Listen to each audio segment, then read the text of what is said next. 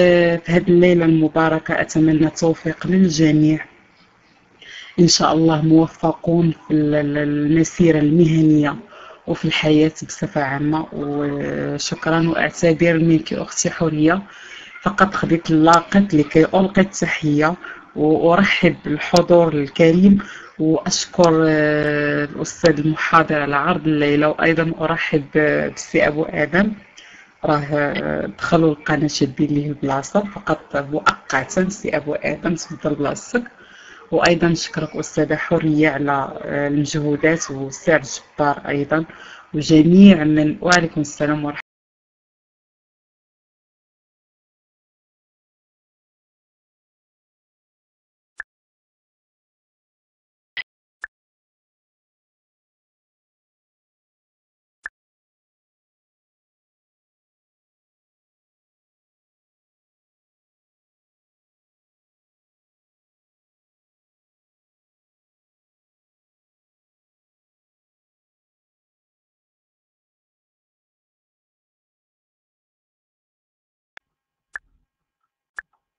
بسم الله الرحمن الرحيم. الحمد لله وكفى وسلام على عباده الذين اصطفى. سلام الله عليكم أيها الحضور الكريم. تحية تربوية عطرة تنبعث من أرجاء الغرفة الصوتية التربوية التي تتشرف اليوم باستضافة الأستاذ القدير السيد عبد الرحمن التومي طبعا غني عن التعريف.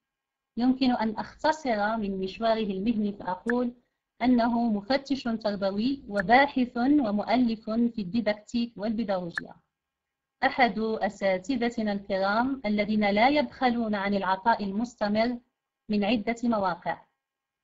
أبى اليوم إلا أن يساهم في تأطير وتوجيه السادة الأساتذة خصوصا مع استعداداتهم للاستحقاقات المهنية المقبلة. موضوع العرض طبعا مفيد لكل ممارس في الميدان التربوي وهو ماثل أمامكم. المداخلة متعلقة بكيفية تدبير درس في الرياضيات. في جزئه الأول آه، سنرى الجانب النظري وفي الجزء الثاني إن شاء الله سيكون التخطيط الإجرائي آه، بمثال إجرائي متعلق بمادة الرياضيات. طبعا تعلمون لهذا المكون من أهمية في المراحل الدراسية المختلفة. لانضباطه الوظيفي بمجالات المعرفة المتنوعة. الحاجة ملحة اليوم لإعادة النظر في الممارسات البيداغوجية والديداكتيكية لتقديم المحتوى الرياضياتي واعتماد استراتيجيات جديدة تنمي لدى المتعلم التفكير التحليلي والاستدلالي لتوظيفه في المواقف الحياتية التي تصادفه.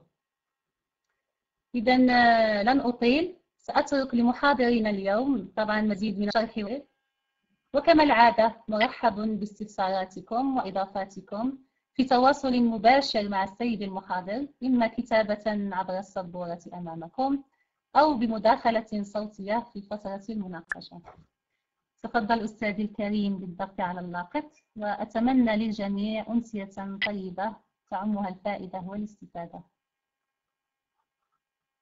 أستاذي سي عبد الرحمن كنت جاهزا. يمكنك الضغط على اللاقط.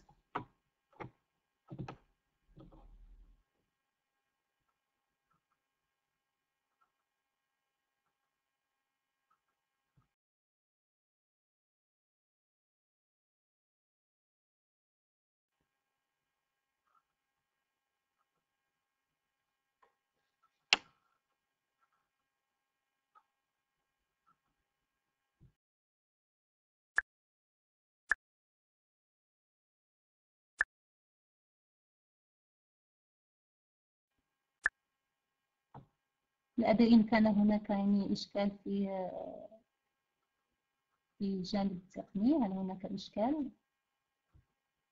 أستاذ عبد الرحمن التوني أستاذنا إن كان لديك أي إشكال في الضغط على اللاقط يمكنك كتابته على السبورة أمامنا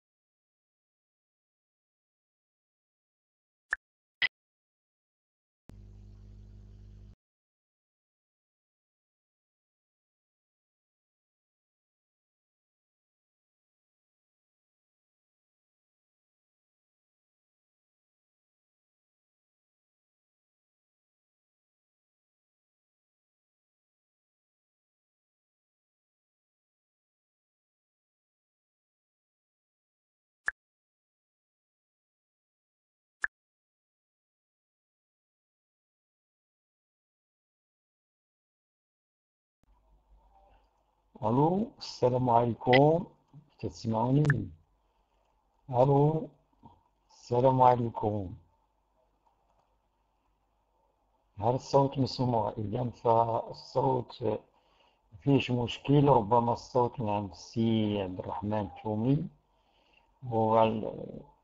والإخوان راه ما باقي تنظن بأنه باقي ما بداش العرض أعتقد. أنا وقفت التسجيل نظرا لأن باقي الأستاذ ربما ما التحقش ولا ربما عنده إشكال. إذا هو اللي التحق.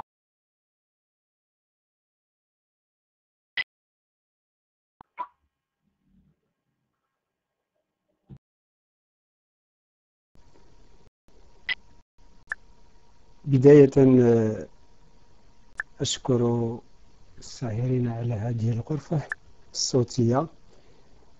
وعلى رأسهم الأستاذة حرية مزوز ميسرة هذه الحصة.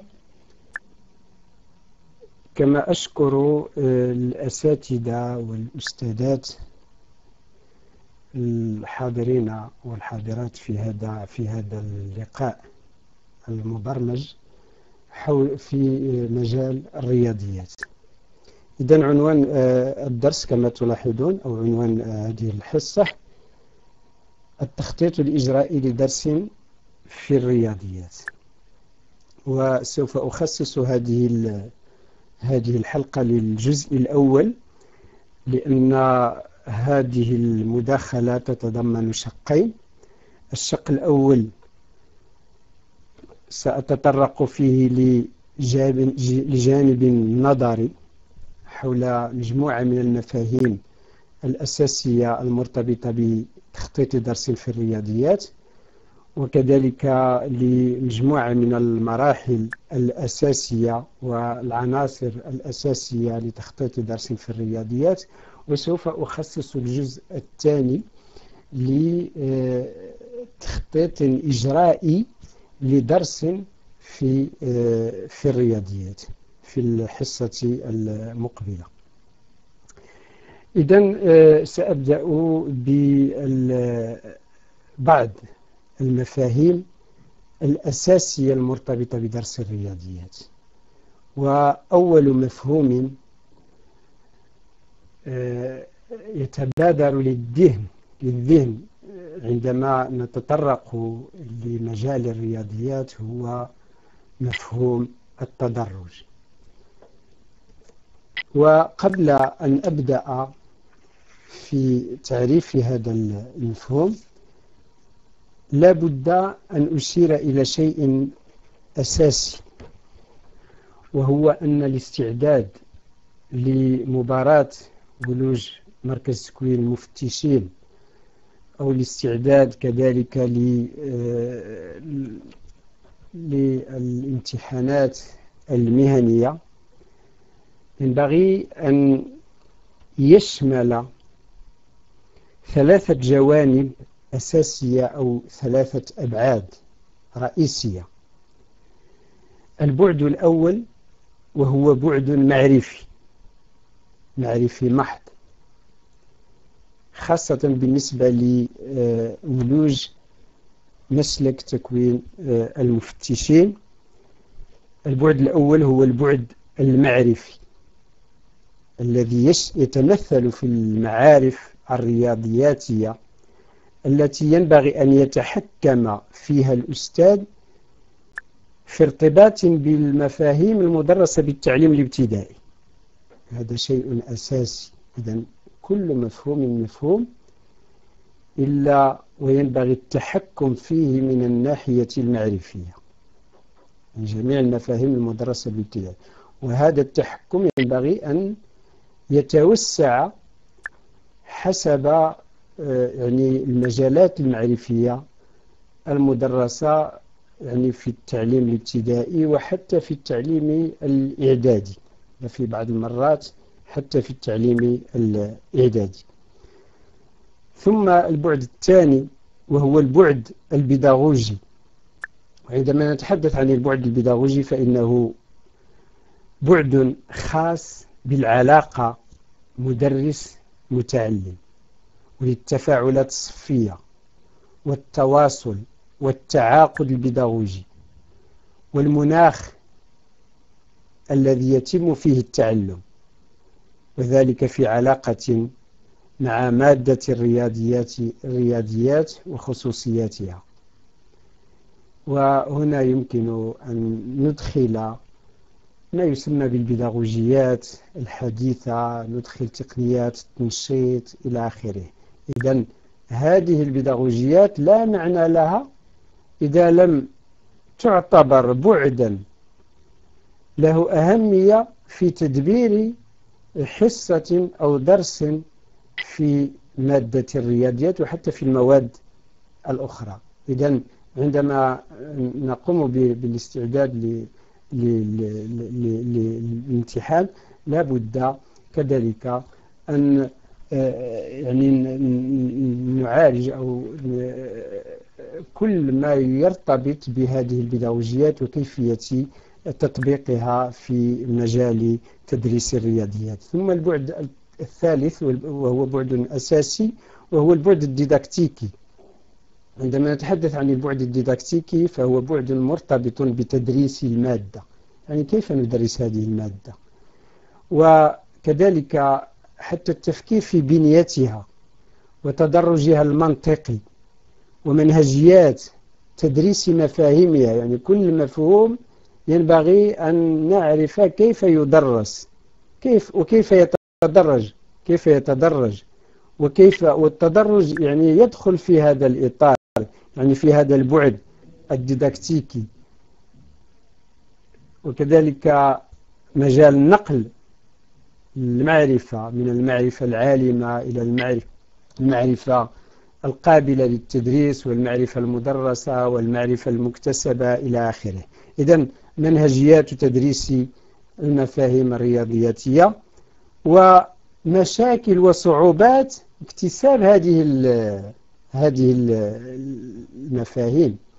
إن كما لاحظتم دائما تطرح أنشطة التقويم أنشطة للتقويم وكذلك آه، يطلبون آه، افتراض بعض الصعوبات التي يواجهها التي قد يواجهها المتعلمون وكذلك اقتراح بعض الأنشطة لمعالجة هذه آه، الصعوبات. إذا هذه أبعاد أساسية في للاستعداد لمباراة ولوج مركز تكوين المفتشين وكذلك حتى للامتحانات المهنية. إذا كانت هذه فقط إشارة آه، أولى لما ينبغي أن آه، يعني نقوم أن نعرفه في هذا المجال. وعندما نتحدث عن التدرج في الرياضيات فهو آه، مفهوم يدخل في صميم البعد الديداكتيكي لمادة الرياضيات. إذا في مجال الرياضيات لا بد من إبراز الروابط بين جوانب المعرفة الرياضياتية والنظرة إلى الرياضيات كبناء معرفي متكامل يتدرج في مستوى دراسي معين إذا هناك تدرج ما يسمى بالتدرج الأفقي. نحدث عن التدرج الأفقي فهو تدرج في مستوى دراسي من بداية السنة إلى آخرها. وكذلك تدرج عمودي يعني تدرج عبر المستويات الدراسية. ويعد هذا التدرج والترابط بين بين مواضيع الرياضيات أمرا ملحا وأساسيا. لا بد من معرفة. لاحظتم في السنة الماضية كان الحديث عن موضوع التناسبية ولقد طرح سؤال حول يعني التدرج هذا هذا المفهوم ما هي المكتسبات القبلية لهذا المفهوم ثم ما هي الامتدادات. امتدادات هذا المفهوم حتى في الإعدادي. إذا كل هذا يدخل في إطار التدرج. إذا هذا التدرج يعد آه، هذا التدرج والترابط بين مواضيع الرياضيات أمرا ملحا وأساسيا وفي هذا الصدد آه، نجد سلام أحمد يدعو إلى ضرورة أن تتسم موضوعات الرياضيات بالترتيب الهرمي حيث يصبح كل موضوع متطلب سابق وأساسي للذي يليه ويرقى عنه في الترتيب الهرم. إذن هذا هو مفهوم التدرج في الرياضيات. مفهوم آخر نتحدث عنه بشكل كبير في مجال تدريس الرياضيات وفي تدبير درس في الرياضيات هو ترييض ترييض الوضعيات. ماذا نقصد بالترييض هناك من يفهم الترييض على أساس أن أنها أنه أنها كلمة جاءت من الرياضة. من الرياضة. ويقول بأن الترييض هو يعني يفهم الترييض كشكل من من من من التمرن الرياضي ها الرياضي. ولكن الترييض كلمة يعني يمكن أن ترتبط أو ترتبط بالرياضيات وليس بالرياضة بالرياضة. ترييض بالفرنسية la mathématisation.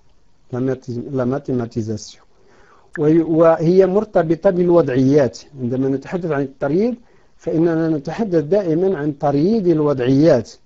فيقصد بترييض الوضعيات تحويلها من سياق لغوي نصي إلى سياق رياضياتي غير نصي والنص عندما نتحدث عن عن النص لا يكون دائما نصا لغويا.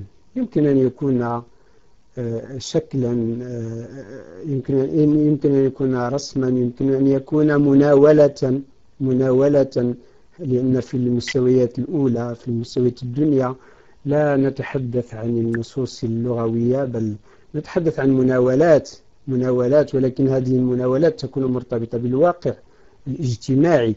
إذا تريد الوضعيات هو يعني تحويلها من سياق لغوي نصي إلى سياق رياضياتي غير نصي.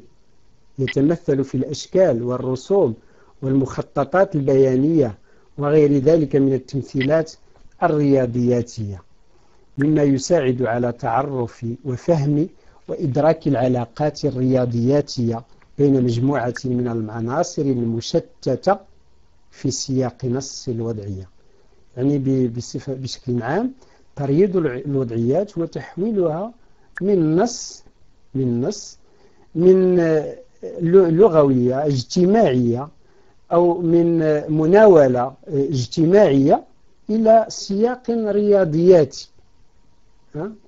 يمكن أن يتمثل في في رسوم يمكن أن يتمثل في أشكال في مخططات في تمثيلات رياضياتية بشكل عام.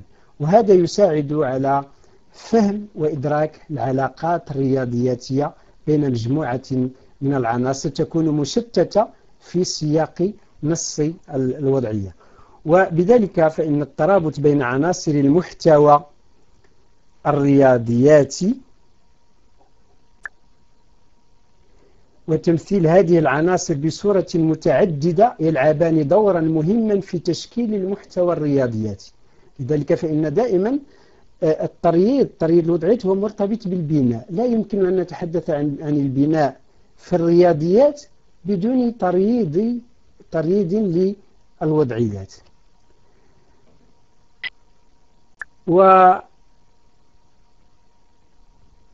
ويلاحظ أن عملية الترييض إذا تهدف إلى عرض المحتوى الرياضيات اللغوي في شكل تمثيلات رمزية قد تكون مكتوبة أو مجسمة لأن, لأن الرياضيات تتميز بالتجريد وهي تمثيلات رمزية. إذا لا بد أن نحول ما هو لغوي ما هو سياق نصي اجتماعي إلى تمثيلات رياضياتية. وتتخذ تلك التمثيلات أشكالا متعددة. تشمل تمثيلات باستخدام الرموز أو التمثيل البياني بالأشكال المتنوعة والمنحنيات أو بالرسم كالأشكال الهندسية المجسمات التمثيل الجدولي يمكن أن نعبر عن وضعية آه، ونمثلها في جدول. ويمكن بشكل عام تلخيص أهداف الترييد فيما يلي إذا تحويل الوضعية من لغة نصية محضة إلى لغة رياضياتية. لأن دائما عندما نتحدث عن وضعية مشكلة نقول بأن الوضعية المشكلة دائما ينبغي أن تكون دالة ينبغي أن تكون مرتبطة بالمحيط المتعلم سياق اجتماعي إلى آخره. ولكن البناء يتطلب أن نحول هذه الوضعية إلى لغة رياضياتية. ثم كذلك من أهداف الترييد مساعدة المتعلمين على تنظيم أفكارهم.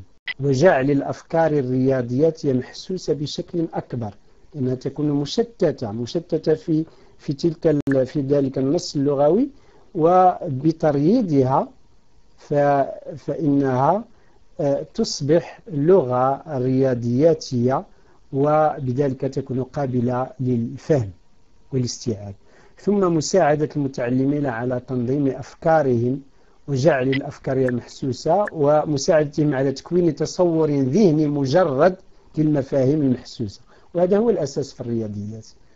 لأن الرياضيات يعني تتسم بالتجريد ولا بد من تحويل ما هو محسوس في سياق لغوي إلى تصور ذهني مجرد مجرد. ثم كذلك مساعدة المتعلمين على تطوير فهم الأفكار الرياضياتية من خلال التمثيلات واستيعاب مختلف التمثيلات الرياضياتية وتوظيفها بشكل مناسب للوضعية. آه، من فضلكم إذا كانت هناك أسئلة فأطلب من الأخت حرية يعني أن أن يعني آه، لا تجيب عنها مباشرة أو بل آه، تحتفظ بها إلى نهاية الحصة. فسوف نخصص وقتا للمناقشة والإجابة عن مختلف التساؤلات. إذا بالنسبة لدائما ترييد الوضعيات دعت منظمة لوسيدي إلى ضرورة تعليم تعلم عملية الترييض وجعلي لأن عملية الترييض مش ليست عملية يعني آه، تأتي من تلقاء نفسها ولكنها استراتيجية ينبغي أن نعلمها للمتعلم فهي عملية لا بد من تعليمها وتعلمها ونصت هذه المنظمة على جعل الترييض هدفا رئيسا ضمن أهداف الرياضيات لأن عندما يعني في خاصة في الحصة الأولى الترييض والبناء فلا بد أن نجعل من عملية الترييض هدفا كذلك للتعليم والتعلم. والترييض حسب هذه المنظمة سيرورة من خمس مراحل. المرحلة الأولى الانطلاق من وضعية مسألة نابعة من الواقع. إذا هذا هو الوضعية المشكلة. إذا لابد من الانطلاق في البداية من وضعية مشكلة نابعة من الواقع. وهذا هو المعمول به في دروس الرياضيات. ثم المرحلة الثانية ينبغي تحديد المفاهيم الرياضياتية المتصلة بالوضعية وتنظيم الوضعية وفق هذه المفاهيم. وبعد ذلك يتم عزل الواقع ذلك الواقع الذي تمثله الوضعية المشكلة ينبغي عزله تدريجيا عبر عمليات متعددة. يعني نمكن يعني آه، نجعل المتعلم يصوغ فرضيات آه، عبر التعميم عبر المأسسة إلى آخره. والهدف من كل ذلك استخراج الخصائص الرياضياتية للوضعية وتحويل المشكل الواقعي الحقيقي إلى مشكل رياضياتي يكون تجسيدا وفيا للوضعية. إذا ذلك تلك الوضعية المشكلة النابعة من الواقع عندما نقوم بترييدها نحول كل تلك المعلومات الواردة في في إلى معلومات رياضياتية يكون لها آه، يعني تكون لها خصائص آه، يعني رياضياتية.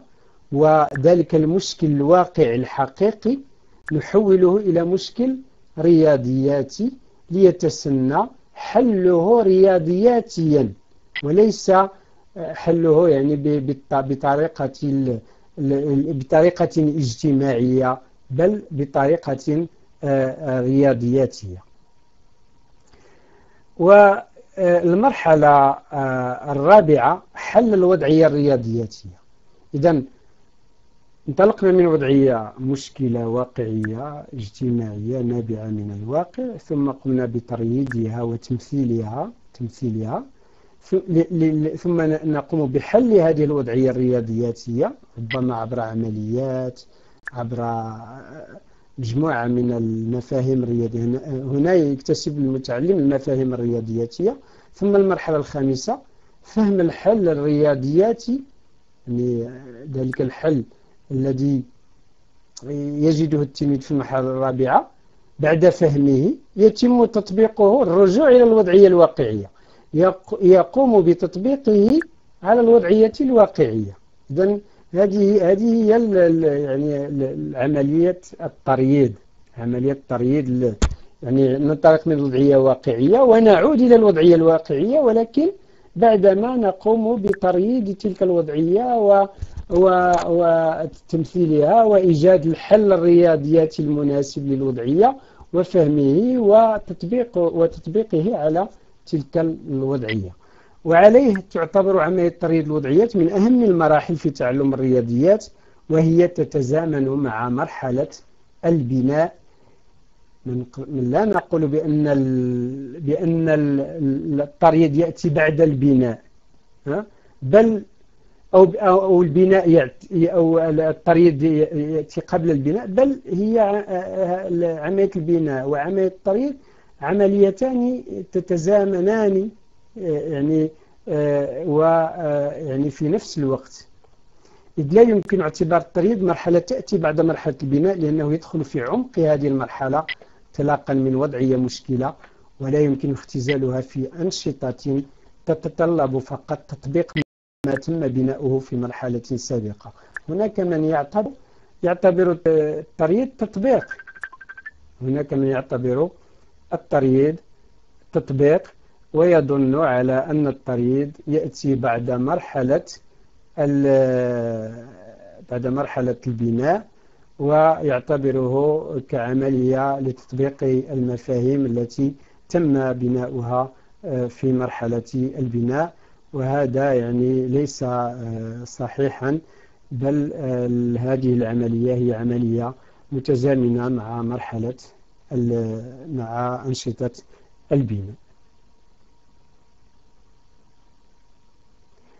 آه، كذلك من المفاهيم الأساسية في درس الرياضيات الهدف التعلمي. إذا كثيرا ما تطرح أسئلة يعني ويطلب يطلب فيها تحديد الأهداف التعلمية الخاصة بدرس. والخاصة كذلك بمستوى دراسي عندما نتحدث عن التدرج تحدثنا عن التدرج فالأهداف العلومية ترتبط مباشرة بكل مستوى من مستوى مفهوم العلومية الأهداف التعلمية المرتبطة مثلا بمفهوم في السنة الأولى ليست هي الأهداف التعلمية المرتبطة بنفس المفهوم في السنة الثانية. أو في السنة الثالثة وربما حتى في السنة الخامسة. مفهوم المساحة مثلا يبدأ في المستوى الثالث بأهداف تعلمية. ثم يتدرج إلى المستوى الرابع بأهداف تعلمية أخرى. ثم إلى المستوى الخامس ثم إلى السادس بأهداف تعلمية أخرى. إذا الأهداف التعلمية هي أهداف كذلك تتدرج من مستوى إلى آخر. والهدف التعلمي هو عبارة تصف ما يتوقع أن يكتسبه المتعلم من معارف أو مهارات أو سلوكات استنادا إلى قدرات محددة. لأن القدرات كذلك تتدرج من مستوى إلى إلى آخر. والهدف التعلمي الهدف التعلمي هو تطبيق قدرة على محتوى. وبأن بما أن القدرة تتدرج قدرة التلميذ المستوى الثالث ليست كقدرات التلميذ المستوى الأول. إذا هناك تدرج في القدرات. بالطبع سيكون هناك تدرج كذلك في الأهداف آه، التعلمية. إذا آه، فالهدف التعلمي من هذا المنطلق ممارسة قدرة على محتوى معين يكون موضوع موضوع تعلمي والهدف المقصود هنا لا يندرج ضمن بيداغوجيا الأهداف الإجرائية بل يشكل مرحلة من مرحلة من مراحل اكتساب الكفاية. إذا بعض الأمثلة لأهداف تعلمية مثلا في مكون الأعداد عندما نقول يرتب المتعلم أعدادا من أربعة أرقام ترتيبا تزايديا أو تناقصيا. إذا هناك قدرة قدرة يرتب قدرة والأعداد من أربعة أرقام هو محتوى. إذا تطبيق قدرة على محتوى يعطينا هدفا تعلميا بالنسبة لمكون الهندسة ينشئ شكلا مماثلا لشكل معين بالنسبة لمحور معين. بالنسبة لمكون القياس يقيس مدة زمنية بواسطة وحدات اعتيادية. بواسطة وحدات اعتيادية. إذا هذه القدرة تتطور عبر المستويات وتتدرج وبالتالي فالهدف التعلمي كذلك يتدرج ولكل مفهوم أهداف تعلمية خاصة ولكل مستوى أهداف كذلك تعلمية آه، خاصة.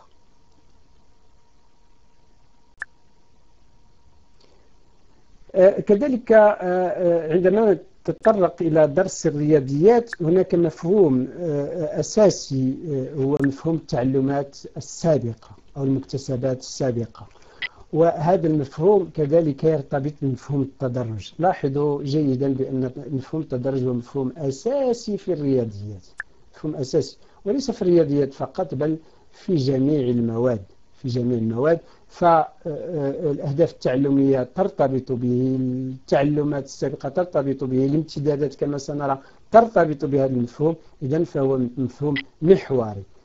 في ديداكتيك المواد إذا التعلمات الأساسية السابقة قلت الأساسية لأن ليست أي تعلمات عندما نتحدث عن المكتسبات السابقة ربما تكون تكون مكتسبات لا علاقة لها بالمفهوم الذي نحن بصدد دراسته ولكن أنا هنا أتحدث وهذا شيء أساسي ينبغي أن أوضحه. فعندما نتحدث عن المكتسبات السابقة فنقصد بها التعلمات الأساسية السابقة يعني الأساسية للمفهوم الجديد. لا يمكن أن نقوم بمعالجة المفهوم الجديد مع المتعلمين دون أن يتحكموا أو يكونوا متحكمين في هذا في هذه التعلمات. يعني هي تعلمات يقصد بها تلك المفاهيم والتقنيات والمهارات ليست فقط مفاهيم ولكن ربما تكون تقنيات ربما مهارات اكتسبها المتعلم في تعلم سابق. ولكن هناك شرط. تكون ضرورية لبناء واستيعاب المعرفة الرياضياتية الجديدة. ولا نقصد هنا بالتعلمات الأساسية تلك المراجعة أو ذلك التذكير للدرس السابق.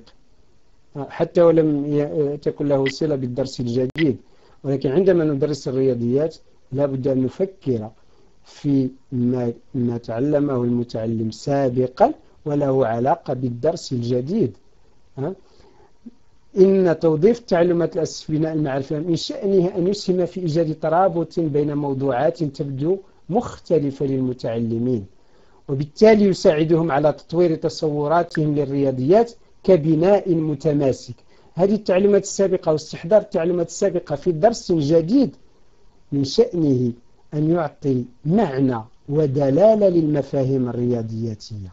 فهو يساعد المتعلمين على تطوير تصورهم للمفاهيم كبناء متماسك. يعني لا فرق بين المفهوم السابق والمفهوم الجديد ولكن هناك تماسك بين جميع المفاهيم والمفاهيم ليست يعني لا تدرس عشوائيا ولكن تدرس بشكل هرمي بشكل متماسك تدرس كبناء كبناء. إذا بدون الربط بين المعارف السابقة والمعارف اللاحقة تبدو الرياضيات كمجموعة من القواعد العشوائية التي لا صلة بينها.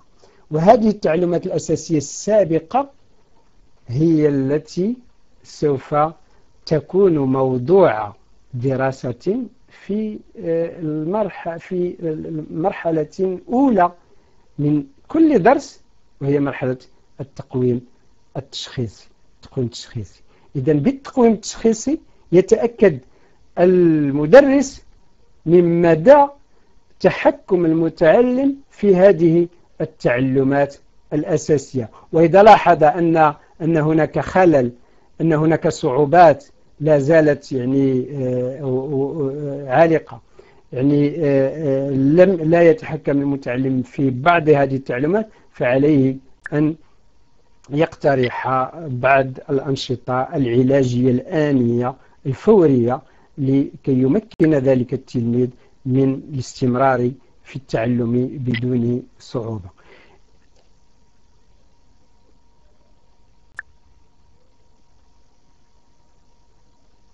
إذا بالنسبة لأمثلة عن المكتسبات الأساسية مثلا مفهوم المساحة ترصيف ترصيف هو مفهوم أساسي لدراسة مفهوم المساحة بالمستوى الثالث. إذا هذا مدخل لمفهوم المساحة. عندما نتحدث كذلك عن موضوع التكبير وتصغير الأشكال فالانتقالات على التربيعات عملية الضرب. إذا كذلك هي آه، مكتسبات أساسية لهذا لهذا المفهوم. عندما نتحدث عن المضلعات فالقطعة القطعة هو مفهوم أساسي لدراسة المضلعات الزاوية كذلك التوازي والتعامد الرباعيات آه، الاعتيادية. إذا كل هذه المفاهيم هي آه، أساسية هي مكتسبات أساسية لهذه المواضع كذلك مفهوم آخر أساسي أساسي ينبغي آه، يعني أن يتحكم فيه أي أستاذ وهو مفهوم الامتدادات مفهوم الامتدادات. إذا التعلمات الجديدة التي يتضمنها كل درس من دروس الرياضيات لها امتدادات بالنسبة لتعلمات رياضياتية لاحقة. وهنا اسمحوا لي أن أستعمل مفهوم الرياضياتية ولا أقول لتعلمات رياضيات رياضية لأن الرياضية هي كلمة يعني من الرياضة والرياضي من الرياضيات صحيح رياضياتية وليست لتعلمات رياضية رياضية. إذا رياضياتية لاحقة قد تكون في السنة الدراسية نفسها امتدادات على المدى القريب. هذه ما نسميه بامتدادات على المدى القريب يعني تكون هناك امتدادات في في نفس السنة. وفي سنتين أو سنوات موالية يعني هنا نتحدث عن امتدادات على المدى المتوسط أو البعيد. ومعرفة هذه الامتدادات من شأنه يعني من قبل الأستاذ. طبعا من شأنه أن يساعد على معرفة أهمية وحدود التعلمات المستهدفة خلال درس معين ودرجة التحكم التي تتطلبها. لذا يكون لزاما أن يمتلك المدرس تصورا طوليا وعرضيا للأهداف والمعارف المقررة عبر المستويات آه، الدراسية.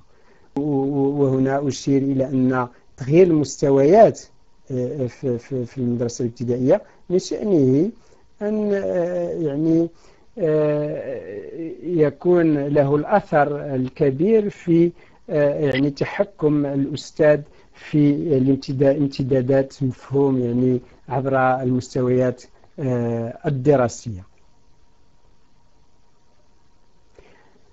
آه، بعد بعض الأمثلة إذا مثلا آه، كما قلنا الترصيف إذا من امتداداته لمفهوم المساحة تكبير وتصغير الأشكال ها؟ تكبير وتصغير الأشكال من امتداداته مثلا مفهوم سلم الخرائط مثلا آه، قياس آه، مثلا آه، السعات يعني من مفهوم السعات يعني من من امتداداته مضاعفات اللتر ها وقياس الحجوم. الحجوم. اذا هذه امتدادات. الآن آه، آه، لماذا لماذا تحدثت عن كل هذه المفاهيم؟ لأنها آه، مفاهيم أساسية للإعداد لمباراة التفتيش وكذلك الامتحانات المهنية فغالبا ما تطرح يعني هذه الأمور. إذا يعني بشكل منهجي ماذا ينبغي على الأستاذ أن يعرفه لاجتياز هذه المباراة؟ إذا بالنسبة للمفاهيم الرياضياتية لا بد أن يتحكم الأستاذ في الجانب المعرفي لهذه لهذه المفاهيم.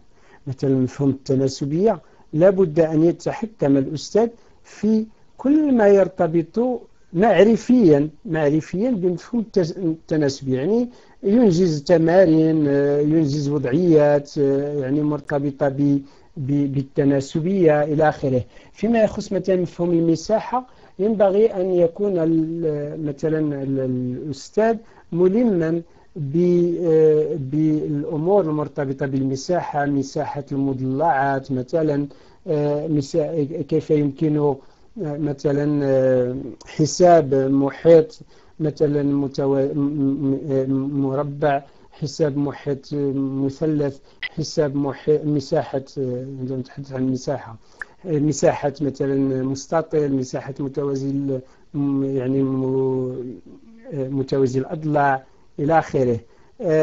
المساحة الجانبية والمساحة الكلية إلى آخره. إذا كل هذه الأمور هي معارف أساسية ينبغي أن يتحكم فيها الأستاذ. وكذلك تدرج تدرج المفهوم الجانب المعرفي ثم التدرج. ينبغي أن يتحكم الأستاذ في تدرج كل مفهوم يعني من السنة الأولى يعني إلى السنة من السنة الأولى من معالجة المفهوم. لا أقصد السنة الأولى يعني الأولى من التعليم الابتدائي ولكن السنة الأولى من معالجة ربما يعالج المفهوم لأول مرة في السنة الثالثة أو الرابعة أو الخامسة حسب طبيعة المفهوم. يعني ينبغي أن يتحكم الأستاذ في تدرج هذا المفهوم ليتحكم في المكتسبات السابقة للمفهوم وكذلك في الامتدادات هذا المفهوم عبر السنوات الدراسية. ثم يتحكم كذلك في الجانب الديداكتيكي يعني التدبير الديداكتيكي للمفهوم. يعني كيف متى يدرس لأول مرة؟ كيف يدرس المفهوم لأول مرة؟ يعني تقريب المفهوم. ثم كيف يتطور تتطور معالجة المفهوم عبر المستويات الدراسية عبر المستويات الدراسية. إذا هذا التدبير الديداكتيكي كذلك أساسي. ثم لا بأس من أن كذلك أن نتحكم في بعض الجوانب البيداغوجية. يعني تلك العلاقة بين الأستاذ والمتعلم يعني كيف يطور الأستاذ من قدرة المتعلم على الاستيعاب على الفهم إلى آخره. يعني هنا مباشرة نتحدث عن تطبيق البيداغوجيات. يعني كيف نطبق مثلا البيداغوجيا الفارقية في في درس في الرياضيات كيف نطبق مثلا بيداغوجيا الخطأ في درس في الرياضيات وعندما أتحدث عن بيداغوجيا الخطأ فإنني أتحدث عن الصعوبات المرتبطة بتدريس أي مفهوم الصعوبات التي يواجهها أي متعلم في آه، يعني آه، مستوى معين يعني آه، ارتباطا بهذا المفهوم. ثم كذلك الدعم الدعم أنشطة الدعم. ما هي الأنشطة الكفيلة بتجاوز هذه الصعوبات؟ وهذه الأنشطة يعني تختلف حسب نوع طبع حسب نوع السرعة إذا هذه الأمور الأساسية التي ينبغي المطلوبة المطلوبة لدى كل أستاذ أراد أن يعني يجتاز هذه المباراة بنجاح. وتأكدوا أن أن لا يهمكم يعني كيفية إدراج الوضعية الوضعية الاختبارية. فالمتحكم في المتحكم في هذه الأمور يعني كيفما أدرجت الوضعية كما كنقولوا كما عجنوها ها؟ كيفما تم عجنها فإنه سيستطيع سيستطيع أن يتحكم في آليات تلك الوضعية. لماذا؟ لأنه يتحكم في هذه الجوانب في البعد المعرفي في البعد البيداغوجي في البعد الديداكتيكي. هذه أبعاد أساسية للتحكم في زمام هذه المباراة إذا أعود لهذه لهذه المداخلة والآن سأتطرق إلى منهجية تقديم درس في آه، الرياضيات. بالطبع هذا الجزء كما قلت هو جزء يعني آه، هو له بعد إجرائي ولكن الإجراء النظري في الفرصة المقبلة يعني آه، سوف في الجزء الثاني سوف أقترح درسا درسا في الرياضيات يعني مفهوم في الرياضيات. وسوف أعالجه من جميع الجوانب. من الجانب يعني الجانب المعرفي سأبين ما يمكن أن نعرفه من معرفة حول هذا المفهوم وكذلك من جانب الديداكتيكي كيف نقدمه كيف يتدرج هذا المفهوم كيف نقدمه كيف ما هي سوف نطبق عليه بعض البيداغوجيات الوظيفية بعض تقنيات التنشيط إلى آخره. إذا آه، بالنسبة لهذا التخطيط المنهجي إذا عندما نتطرق لأي درس في الرياضيات علينا أن نخطط لمجموعة للدرس باعتبار مجموعة من المعلومات الأساسية. هذه المعلومات الضرورية لتخطيط أي درس. إذا المادة ينبغي تكون واضحة بالطبع وهي مادة الرياضيات ثم نوضح المكون إما الأعداد والحساب والهندسة أو القياس أو المسائل أو معالجة البيانات الآن دخلت معالجة البيانات على الخط في في في المنهج المنقح للسنة الأربع ثم كذلك نبين المستوى الدراسي لأن المستوى الدراسي لماذا المستوى الدراسي؟ لأنه سيحدد لنا الأهداف التعلمية كما قلت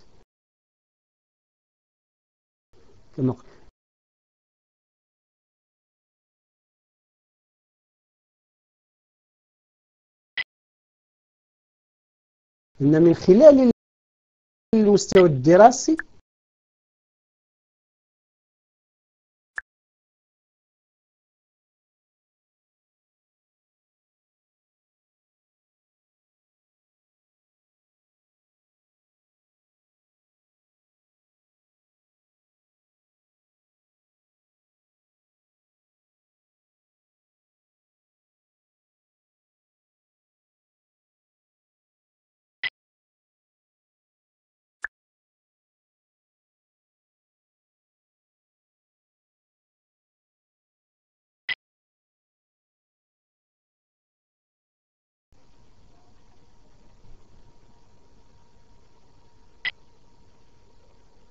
إذن واصل واصل آه، وأعتذر آه، على هذا العطب. آه، إذن بالنسبة لي كذلك من بين المعلومات الأساسية هناك المدة الزمنية التعلمات الأساسية السابقة التي أشرت إليها ثم الامتدادات هي أساسية لكل مفهوم ينبغي أن نوضحه ثم الوسائل والمعينات الديداكتيكية. إذا هذه معلومات أساسية لكل عندما يطلب تخطيط درس في الرياضيات فلا بد من توضيح جميع هذه العناصر.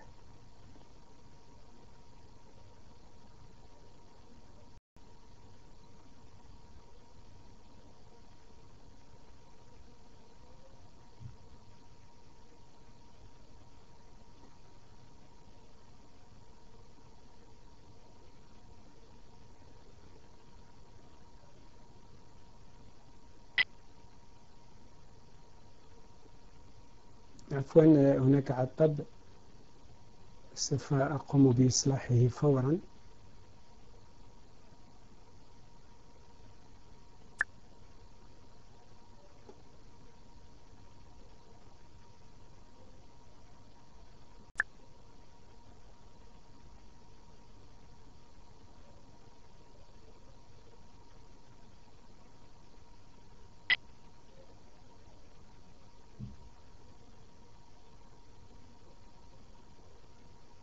إذا المراحل والأنشطة الخاصة بدرس الرياضيات.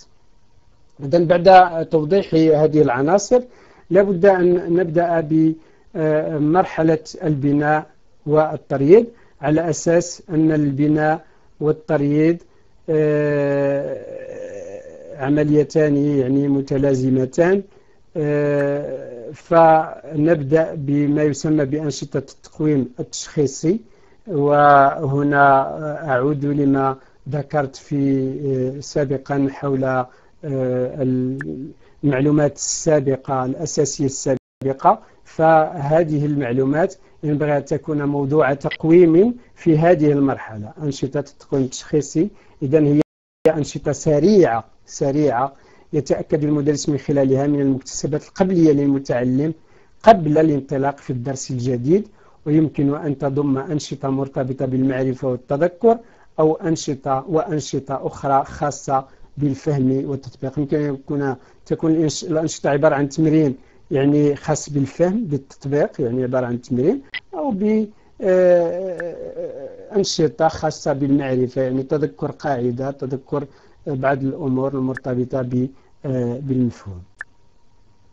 ثم دائما في إطار مرحلة البناء والترييد ننتقل إلى أنشطة البناء والترييد. الهدف من هذه الأنشطة هو بناء المعرفة الرياضياتية.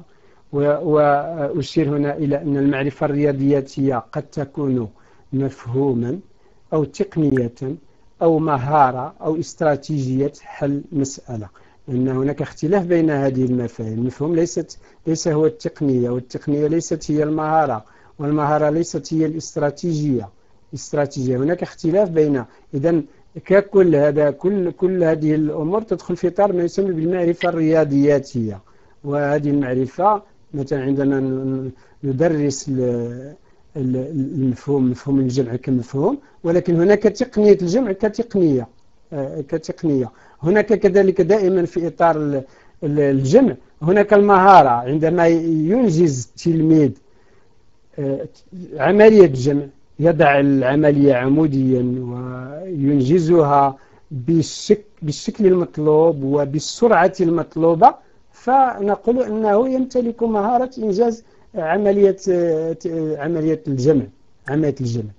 وربما تلميذ يمتلك التقنية ولكن لا يمتلك المهارة ويعرف كيف ينجز عملية الجمع ولكن عندما ينجز تلك العمل إما لا يحترم الوقت المحدد يعني يستغرق وقتا طويلا وإما لا يحترم يعني بعد لا يعرف كيف يطبق تلك التقنية كيف يطبقها وكيف ينجز العملية إذا هناك اختلاف بين هذه المفاهيم. وكل, وكل هذه الأمور تدخل في إطار المعرفة الرياضياتية إذا الهدف من هذه الأنشطة هو بناء المعرفة الرياضياتية الذي يمر عبر ترييد وضعية يواجه فيها المتعلمون مدعية مشكلة نفيزة وذات معنى ودلالة. معبر عنها بنص لغوي. لاحظوا النص اللغوي ربما نودع المشكل تكون نص لغوي. أو موقف مشخص أو مناولة أو صورة أو رسم أو بعض من هذه العناصر أو جميعها. وتتوج أنشطة الترييد والبناء بصياغة المتعلمين لخلاصة. وهذه الخلاصة من الأحسن أن تكون في شكل ما يسمى بالخريطة المفاهيمية. والخارطة المفاهيمية يعني سوف يأتي الوقت الذي نتحدث فيه عن هذه الخارطة ليس فقط في الرياضيات وإنما في جميع المكونات سواء مكونات اللغة العربية أو اللغة الفرنسية أو النشاط العلمي. إذا الخارطة المفاهيمية هي آه، يعني شكل من أشكال تلخيص القواعد والمعارف المرتبطة بالمفهوم. إذا آه، هذه الصياغة هذه الخلاصة تعبر عن فهمهم واستيعابهم لموضوع الدرس الجديد ويمكن أن تتضمن هذه المرحلة بالإضافة إلى أنشطة التريد والبناء أنشطة سريعة للتطبيق المباشر على الألواح خاصة. إذا مباشرة بعد مرحلة التريد والبناء.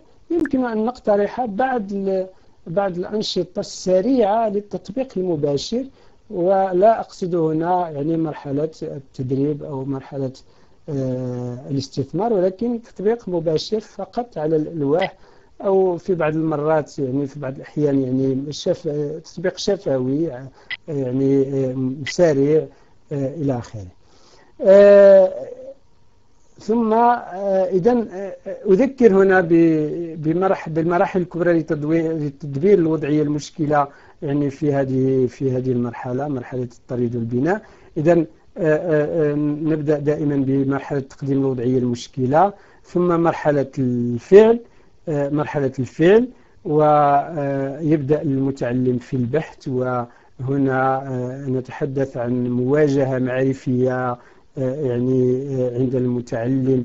يعني بين المعارف السابقة المعارف الأساسية السابقة والمعرفة ومعطيات الوضعية الجديدة. يعني يحدث ما يسمى بخلخلة لدى المتعلم يعني إثر هذه المواجهة.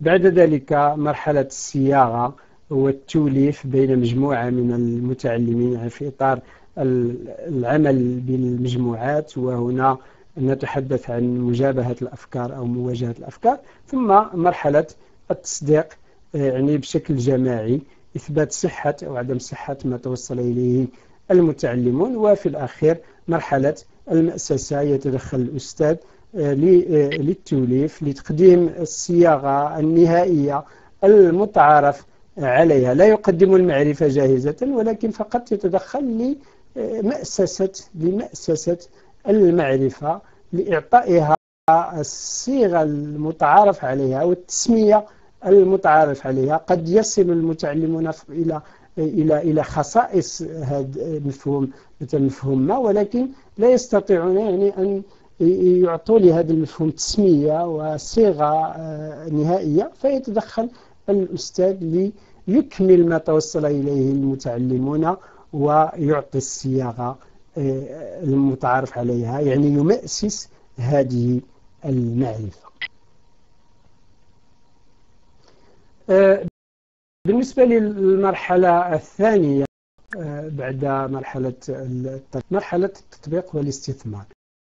هنا آه، يعني آه، أتحدث يعني عن الاستثمار. لماذا؟ لأن التطبيق وحده غير كافي ل آه، يعني مفهوم ولمعالجة مفهوم بل الاستثمار أساسي في يعني في هذه المرحلة. تعتبر أنشطة هذه المرحلة أساسية في درس الرياضيات إذ ينبغي أن يخصص لها وقت كاف لكونها تتيح للمتعلمين تثبيت المفاهيم والقواعد والمهارات. إذا هنا نتحدث عن التثبيت. لا نتحدث عن عن التقويم. نتحدث عن التثبيت والترسيخ والاستثمار. إذا ينبغي أن نميز بين ما يدخل في إطار التطبيق الذي هو آه، يعني هي مرحلة مرحلة للتثبيت والترسيخ والاستثمار وبين التقويم الذي سنتحدث عنه في المرحلة الموالية. إذا ينبغي أن تغطي مختلف الأهداف التعلمية. هذه مرحلة التطبيق ينبغي أن تغطي مختلف الأهداف التعلمية المتوخاة وتكون متنوعة ومتدرجة من حيث درجة الصعوبة والتركيب. إذ تشمل تبعا لطبيعة الدرس تشمل مجموعة تشمل مجموعة من الأنشطة. يمكن أن نبدأ نتحدث عن التدرج في في في اقتراح هذه الأنشطة. إذا أنشطة التعرف من قبيل مثلا لون حدد ضع علامة على رتب في جدول هذه كلها أنشطة للتعرف. فقط للتعرف على القاعدة. على المفهوم. لون مثلا آه، مثال هنا. لون المستطيلات بالأحمر والمربعات بالأزرق والمثلثات بالأخضر. إذا هذا فقط آه، آه، تمرين للتعرف. أتعرف وميز المستطيلات من عن المربعات عن إذا للتعرف إذا أنشطة التعرف مع تبرير كتابي للأجوبة. يمكن أن نضيف تبرير كتابي. ها؟ ربما يكون تبرير شفوي. ثم أنشطة للتطبيق المباشر للقواعد والمفاهيم والتقنيات. إذا التطبيق يأتي بعد التعرف. ثم أنشطة لتصحيح أخطاء مرتبطة بالتطبيق مفهوم. ربما لكي لا يسقط المتعلمون في أخطاء ربما منذ البداية أوجه المتعلمين إلى بعض الأخطاء التي التي قد يسقطون فيها. و يعني يوجه الأستاذ المتعلمين إلى تصحيح هذه الأخطاء. يعني عمدا يقترح أنشطة بأخطاء وهذا يدخل في إطار مرقى مرقى التقويم. لأن من مراقي بلوم بعد بعد المعرفة وبعد الفهم وبعد التطبيق وبعد آه، التحليل بعد آه، التحليل وبعد هناك هناك التطبيق هناك التقويم التقويم. والتقويم هو إبداء رأي. إبداء رأي. إبداء رأي في في جواب. إذا قد نقول بأن هذا الجواب صحيح أو خطأ أو خطأ. إذا عند ربما أقترح عملية عملية عملية طرح أو عملية جمع بأخطاء يعني فيها أخطاء متعمدة. وأطلب من التلميذ أن يجد مصدر هذا الخطأ. أقول بأن التلميذ أنجز عملية لاحظ هل هذه العملية صحيحة ولماذا؟ ولماذا؟ إذا هنا التلميذ هذا راه مشيت لقد مررت بالمتعلم إلى مرقى التقويم إلى مرقى التقويم من مراقي آه، بلوم. ثم أنشطة مهاراتية آه، يعني المهارات كذلك ينبغي أن نقترح بعض الأنشطة ل آه، يعني لاستعمال مهارات معينة مثل إنشاء إنشاء أشكال إنجاز رسوم خطاطات إلى آخره. ثم كذلك أنشطة لحل المسائل المرتبطة بتطبيق واستثمار المعرفة الرياضية المكتسبة في المرحلة السابقة. إذا أنشطة للاستثمار أنشطة للاستثمار.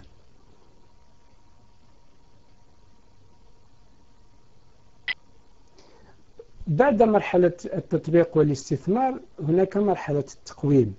تعتبر الأنشطة الخاصة بهذه المرحلة أساسية للتأكد من مدى تحقق الأهداف التعلمية المتوخاة من الدرس والوقوف على مختلف الصعوبات. إذا عندما نتحدث عن التقويم نتحدث عن الصعوبات. وعلى الأساتذة أن يتحكموا في جميع الصعوبات المرتبطة بالمفاهيم. يعني أي مفهوم يعني تمت معالجته ينبغي ينبغي التفكير في آه، مجموعة الصعوبات التي قد تواجه المتعلمين في ارتباط بذلك المفهوم. الوقوف على مختلف الصعوبات التي تواجه المتعلمين في ارتباط بالمفهوم بالمفهوم. وأداة هذا التقويم مجموعة من التمارين والوضعيات. بعد مرحلة التقويم مرحلة الدعم والمعالجة. إذا دائما تطرح أسئلة آه، يعني حول في في ربما آه، في في وضعية الاختبار آه، تطرح أسئلة حول أنشطة التقويم. ربما تقترح اقترح أنشطة تقويمية لمفهوم كذا وكذا وكذا. ثم بعد السؤال يطرح سؤال آخر. ما هي الصعوبات؟ يعني المفترضة يعني بعد هذه أنشطة التقويم ما هي الصعوبات المفترضة التي قد يواجهها المتعلمون؟ وما هي الأنشطة التي يمكن اقتراحها لمعالجة هذه الصعوبات إذا هذه كل دائما تطرح مثل هذه الأسئلة. إذا إذ هذه الأنشطة تمثل أهمية كبيرة بالنسبة للمتعلم لأن أنشطة التقويم لها أهمية بالنسبة للأستاذ. لماذا؟ لأنه تبين الصعوبات تبين مصادر الصعوبات وتبين الاختلالات و يعني يتأكد الأستاذ يعني من خلالها مدى تحكم التلميذ في الأهداف. ولكن مرحلة الدعم والمعالجة هي أنشطة لها أهمية كبيرة بالنسبة للمتعلم. تمكنه من تثبيت وإغناء تعلماته معالجة تعثراته. قلت تثبيت وإغناء بالنسبة للذين تحكموا في في الأهداف. بالنسبة للذين آه، يعني لا آه، لم يجدوا أي صعوبة في معالجة يعني آه، مفهوم المفاهيم. وكذلك نتحدث عن المعالجة بالنسبة معالجة التعثرات بالنسبة للمتعلمين الذين لم يتحكموا في آه، أهداف آه، المرتبطة بالمفهوم. وينبغي أن تستجيب الأنشطة المقترحة في هذا الصدد لحاجات كل فئة من المتعلمين أو تراعي طبيعة الفروق الفردية بينهم. وهنا لابد من تطبيق البيداغوجيا الفارقية لأن لأن حاجات المتعلمين تختلف من تختلف حسب درجة الصعوبة حسب نوعية الصعوبة حسب درجة تحكم المتعلمين في المفهوم. إذا لابد من مراعاة من مراعاة الفروق الفردية آه، بينهم. أنتقل إلى سيناريوهات توزيع مراحل درس الرياضيات على الحصص. على الحصص. لأن آه، آه، تحدثنا عن أربع مراحل.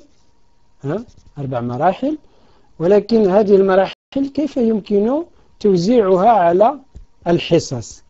إذا آه، كما تلاحظون آه، تلاحظون بأن الكتب المدرسية لم تستقر على نموذج موحد لتوزيع مراحل درس الرياضيات على الحصص وتعددت السيناريوهات واختلفت شكلا ومضمونا إذ إن معظم هذه الكتب لم تخصص لمرحلة تطبيق حصة مستقلة. بالرغم من أهميتها في ترسيخ وتثبيت المعارف الرياضياتية واستثمارها فقامت بدمجها إما في حصة البناء والترييد كأنشطة تدخل في إطار الترييد أو في حصة التقويم. ونقدم هنا بعض الأمثلة مثلا في الجيد في الرياضيات. السنة السادسة الجيد يتحدث عن أنشطة البناء والترييد أنشطة التمرن والتقويم. هي إذا أنشطة أنشطة التمرن تم إدماجها مع التقويم. وهناك أنشطة الدعم والإغناء. المرجع في الرياضيات السنة الثالثة مثلا تحدث عن أنشطة الحصة الأولى أنشطة التريد وبناء المفاهيم ثم الحصة الثانية أنشطة التقويم والحصة الثالثة أنشطة الدعم. فأين هي أنشطة التطبيق؟ لأن لا يمكن أن أقوم تلميذا دون أن أقترح عليه مجموعة من التمارين للتطبيق يرسخ لترسيخ المفهوم لتثبيت هذا المفهوم. إذا لابد أن يتمرن لابد أن يتدرب قبل أن يخوض المرحلة النهائية قبل أن يخوض هذا ال هذا ال يعني ال النشاط التقويمي لابد أن يتمرن. لأن مرحلة الطريق والبناء فقط خاصة بالبناء. يبني التلميذ فيها المفهوم. إذا ماذا ينقصه؟ ينقص ينقصه آه، يعني آه، فترة تنقصه فترة لترسيخ هذا المفهوم لتثبيت هذا المفهوم عاد أتحدث معه عن التقويم. كيف أقومه؟ وأنا لم أقترح عليه آه، بعد يعني مجموعة من التمارين الخاصة. وهنا كم يعتبر التقويم هو هو كتدريب. كتدريب لا التقويم هو ما هو الهدف منه؟ هو التأكد من مدى ثم أحكم على التلميذ؟ هل تحكم في في المفاهيم أم لم يتحكم فيها؟ إذا التقويم ليس هو التطبيق ليس هو التدريب. هناك اختلاف كبير بين بين المفهومين. المنهاج الدراسي المنقح للسنوات الأربع تحدث عن أنشطة البناء والترييد. أنشطة التقويم وأنشطة الدعم والمعالجة. بحال مرجع في الرياضيات فأين هي أنشطة التطبيق؟ ها؟ أين هي؟ هل أنشطة التقويم هي أنشطة التطبيق؟ يقصد بها المنهاج المنقح أنشطة التطبيق؟ لا. هناك هذا خطأ. لا بد أن نخصص لأنشطة التطبيق وتثبيت المفهوم وترسيخه حصة خاصة حصة خاصة وبعد ذلك نتحدث مع المتعلم على على التقويم كيف تقومني وأنت لا لم تعطيني حقي إذا هذه السيناريوهات السيناريو الذي آه، المقترح عادة في يعني ليس هذا ليس سيناريو خاص بي ولكن هذا سيناريو خاص يعني بمجموعة من البرامج فدائما وفي جميع المكونات ليس فقط في مكون الرياضيات في جميع المكونات. المكونات نتحدث في البداية عن ما يسمى بالإكتشاف والفهم حتى في اللغة الفرنسية اكتشاف والفهم هو يكتشف ويفهم التلميذ. ثم je m'entraîne حتى في الفرنسية m'entraîne je m'évalue ou bien entraînement عاد évaluation. أو التطبيق ثم التقويم. إذا مرحلة تريد الوضعية بناء المفاهيم مرحلة التطبيق والاستثمار ثم مرحلة التقويم والدعم. والدعم دائما يرتبط بالتقويم. عندما نتحدث عن التقويم نتحدث مباشرة عن الدعم. حتى التصحيح التصحيح في عملية التقويم هي دعم هي دعم. نصحح ولكن لا نصحح بالمفهوم القديم التقليدي للتصحيح ولكن التصحيح الآن أصبح بعد التقويم أصبح التصحيح له آه، مفهوم جديد مفهوم المعالجة مفهوم الدعم مفهوم الدعم.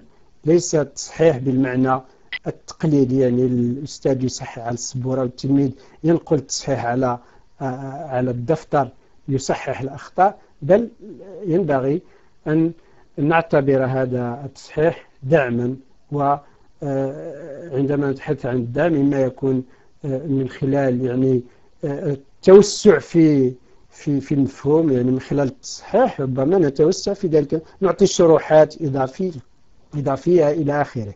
إذا هذه هي الحصص المقترحة في درس الرياضيات. وهنا سوف أقترح نموذجا لبطاقة تخطيط درس في الرياضيات. إذا هذه العناصر تحدثنا عنها. لا بد أن تكون يعني موجودة في بطاقة الرياضيات.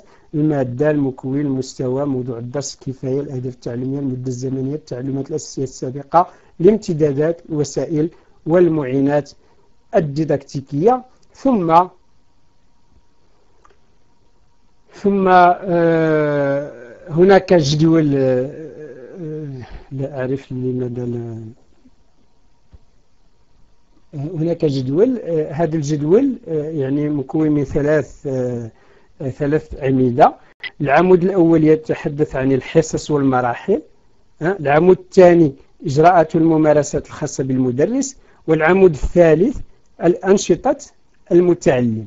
إذا الحصة الأولى تكون تشخيصي وضحوا فيه شكل العمل المدة الزمنية الدعامات والوسائل ثم دائما في الحصة الأولى أنشطة التريض والبناء شكل العمل المدة الزمنية الدعامات والوسائل. بالنسبة لإجراءات الممارسات الخاصة بالمدرس الأنشطة والوضعيات يعني أقترح الأنشطة واختار الأنشطة والوضعيات الخاصة بتريد وبناء المفهوم أو التقويم أو كما سيرد ثم معطيات مرتبطة بتدبير الفردية لا ننسى هذا. هذا شيء أساسي إذا المعطيات مرتبطة بتدبير الفروق الفردية الفردية والتعامل مع الخطأ. عندما نتحدث عن التعامل مع الخطأ يعني نتحدث عن الدعم عن تقويمات يعني تقويمات مرحلية ما يسمى بالتقويم المرحلي. يعني في كل مرحلة من مراحل الدرس هذا اقترحوا تقويما وهو ما يدخل في إطار التقويم التكويني. وعندما نتحدث عن التقويم نتحدث عن ربما ترتكب أخطاء. كيف نتعامل معها؟ كيف نجد مصدرها؟ كيف نقدم معالجة فورية آنية إلى آخره؟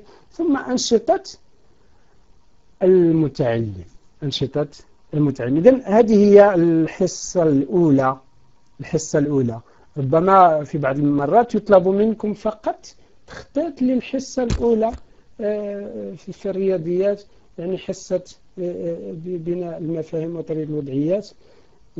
وهنا أقترح فقط إذا طلب مني هذا السؤال في في تخطيط يعني الحصة الأولى أقترح فقط الوضعية المشكلة و وما يتبعها من أنشطة ومن عمليات إلى آخره بالطبع باعتبار الفروق الفردية باعتبار يعني التعامل مع الخطأ ما يدخل في إطار ممارسات الأستاذ وما يدخل في إطار أنشطة المتعلم. ثم آه، المرحلة آه، أو الحصة الثانية دائما في إطار هذا.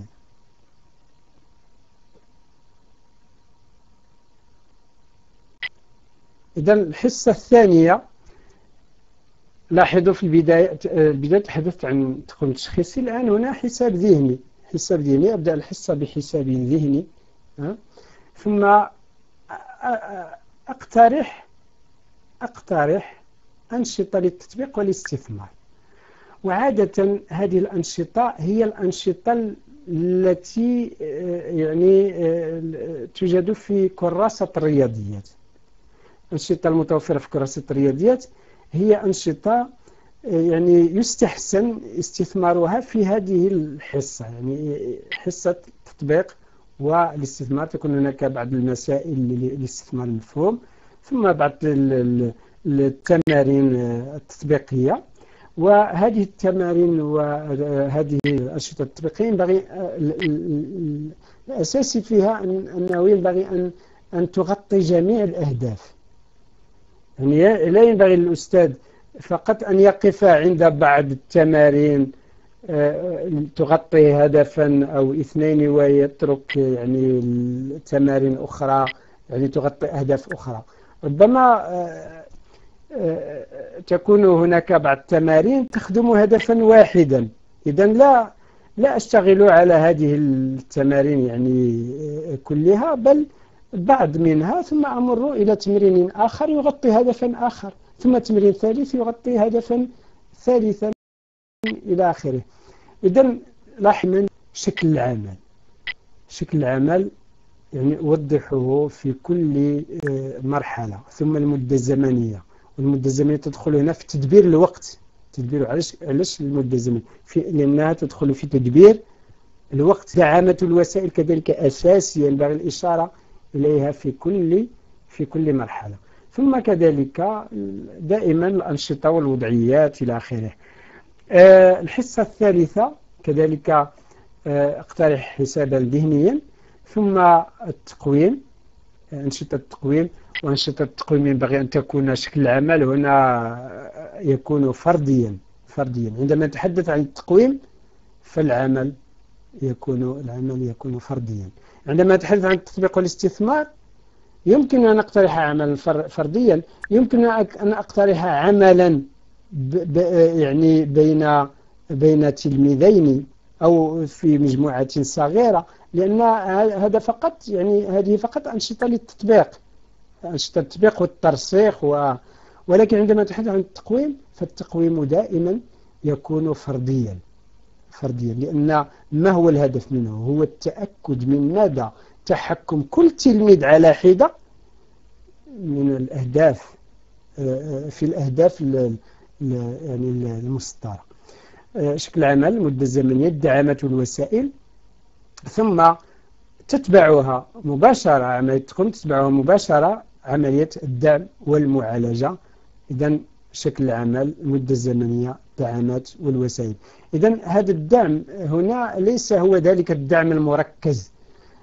فالدعم المركز هو دعم ربما نسجل آه، الأخطاء نسجل الصعوبات ونعالجها في أثناء حصص الدعم. حصص الدعم يعني أسابيع التثبيت والدعم أو حصة دعم الدرسين. هنا نتحدث عن الدعم المركز ولكن هذا الدعم الذي آه، نقترحه هنا هو دعما آه، آنيا يعني آه، مرتبطا بهذه العملية عملية التقويم إذا فيها أثناء هذه المرحلة ندعم ما يمكن أو نعالج ما يمكن معالجته وبالطبع سوف لن نعالج جميع الصعوبات.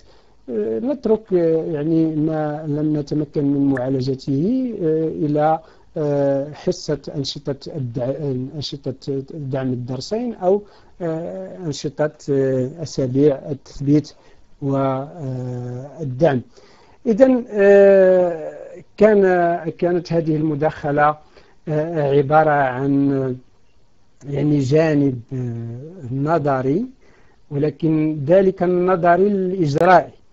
الإجرائي لأنشطة التعليم والتعلم المرتبطة بتطبيق آه، بتخطيط درس وفي الحصة المقبلة آه، في الجزء الثاني. سوف ما قلناه كل ما قلناه في هذه الحصة سوف نطبقه إجرائيا يعني من خلال درس. درس مفهوم سوف نعالجه من جميع جوانبه جوانبه المعرفية والبيداغوجية والديداكتيكية. أشكركم على حسن انتباهكم وأترك المجال لكم لطرح تساؤلاتكم وآرائكم وربما بعض الاقتراحات بعض الجوانب التي تريدون إضافتها لإغناء هذا الموضوع وشكرا جزيلا. إليك الخط.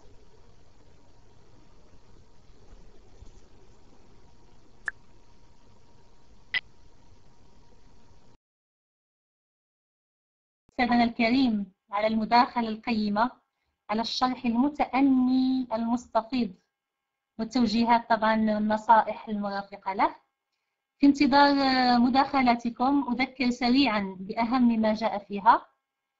إذا تناول في هذه الحصة الجانب النظري وأكد على ضرورة الإلمام بثلاث أبعاد أساسية هي البعد المعرفي البيداغوجي والديداكتيكي. ثم تناول مفهوم التدرج والترهيب طبعا التدرج في الرياضيات يعني يتناول الجزء الديداكتيكي تدرج في الأهداف في القدرات ثم مفهوم الترهيب ويليه مفهوم البناء. على أساس بعد ذلك طبعا منهجية تدريس الرياضيات دائما في شقها النظري ولكن إجرائيا. على أساس كما قال أن الحصة الموالية بإذن الله ستخصص لدرس في الرياضيات بمثال إجرائي. إذا آه، تفاعل كبير تناسلت عنه أسئلة كثيرة سأحاول نقلها بكل أمانة وموضوعية. آه، لمن رأى أن سؤاله لم يرد هنا يعني ممكن أن يضغط على اللاقط أو يعيد كتابته رجاء. حاولت يعني الأسئلة التي تتكرر أن لا أعيد تقريبا لدينا أزيد من 150 يعني عضوا مرحبا بالجميع. في انتظار دائما مداخلتكم والكلمة لكم. سأذكر سأذكر للأستاذ آه، بعض الأسئلة التي وردت أثناء تقديمه للعرض. إذا السؤال الأول متعلق بمفهوم التدرج ويقول أحمد ما الفرق بين التدرج الأفقي والعمودي؟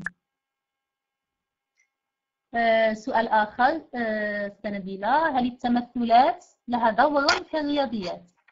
إذا طبعا أنا أنقل الأسئلة بكل أمانة وموضوعية بدون يعني أي تدخل. آه، سؤال آخر ما الفرق بين الهدف الإجرائي والهدف التعلمي؟ وهذا سؤال تكرر كثيرا. يعني الهدف الإجرائي هل هو الهدف التعلمي؟ آه، سؤال آخر يقول صاحبه أنه سؤال مهم وكرر كثيرا. كيف يمكن للأستاذ أن يقدم تعلمات جديدة مطالب بتزويدها في وقت معين؟ ووفق جدولة زمنية محددة مسبقا وبين واقع المتعلمين الفاقدين للتعلمات الأساس. آه، إذا أمرر اللاقط الأستاذ عبد اللطيف وبعد ذلك أتابع قراءة الأسئلة. تفضل أستاذ. السلام عليكم ورحمة الله. السلام عليكم ورحمة الله. الصوت طيب. آه بداية آه، شكرا جزيلا للأستاذ آه، الكريم المحاضر. على هذا العرض القيم والقيم جدا. بطبيعة الحال بشكل موصول للحضور الكريم. أستاذي الكريم يعني من خلال عرض المراحل أو مراحل تقديم درس في الرياضيات اقترحت خاصة تلك المرحلة التي يعني مرحلة جديدة مرحلة التطبيق والاستثمار. وذكرت في أن بأن الأدبيات يعني غافلت هذه المسألة ولم تذكرها. بالنسبة لنا دابا الأستاذ واش هذا الاقتراح يبقى مجرد اقتراح أو يمكن اعتماده يعني في تطبيق أو في يعني في عملية الأجراء ديال آه، درس معين؟ يعني واش يمكن اعتماد هذه المرحلة كمرحلة أساسية وذكرها يعني وتطبيقها أو أنها تبقى مجرد اقتراح؟ وشكرا جزيلا أستاذي الكريم. السلام عليكم ورحمة الله.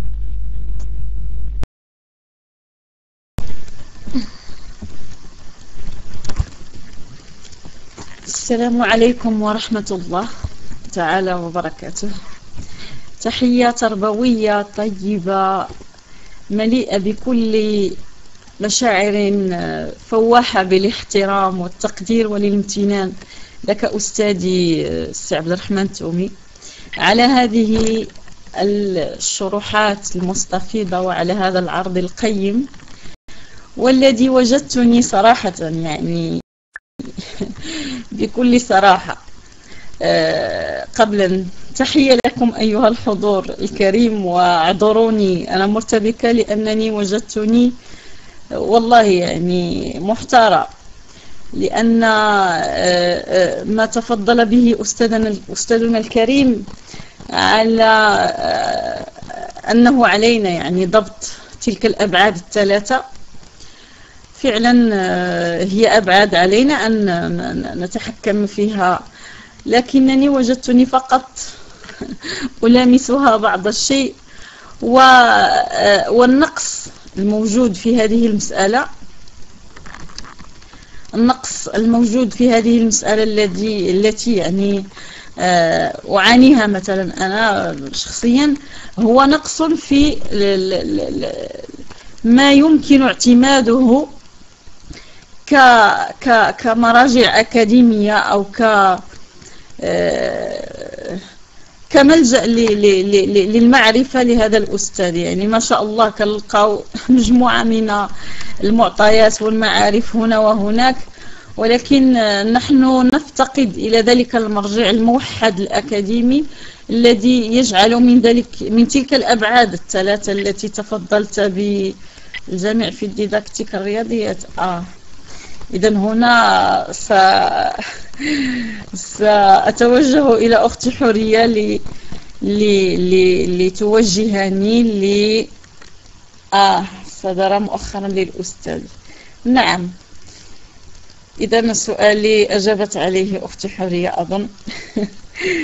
إذا أجدد شكري لك أستاذي و أكيد أنه علينا يعني البحث والمثابرة للتجديد وللتكوين و وأسفته فعلا.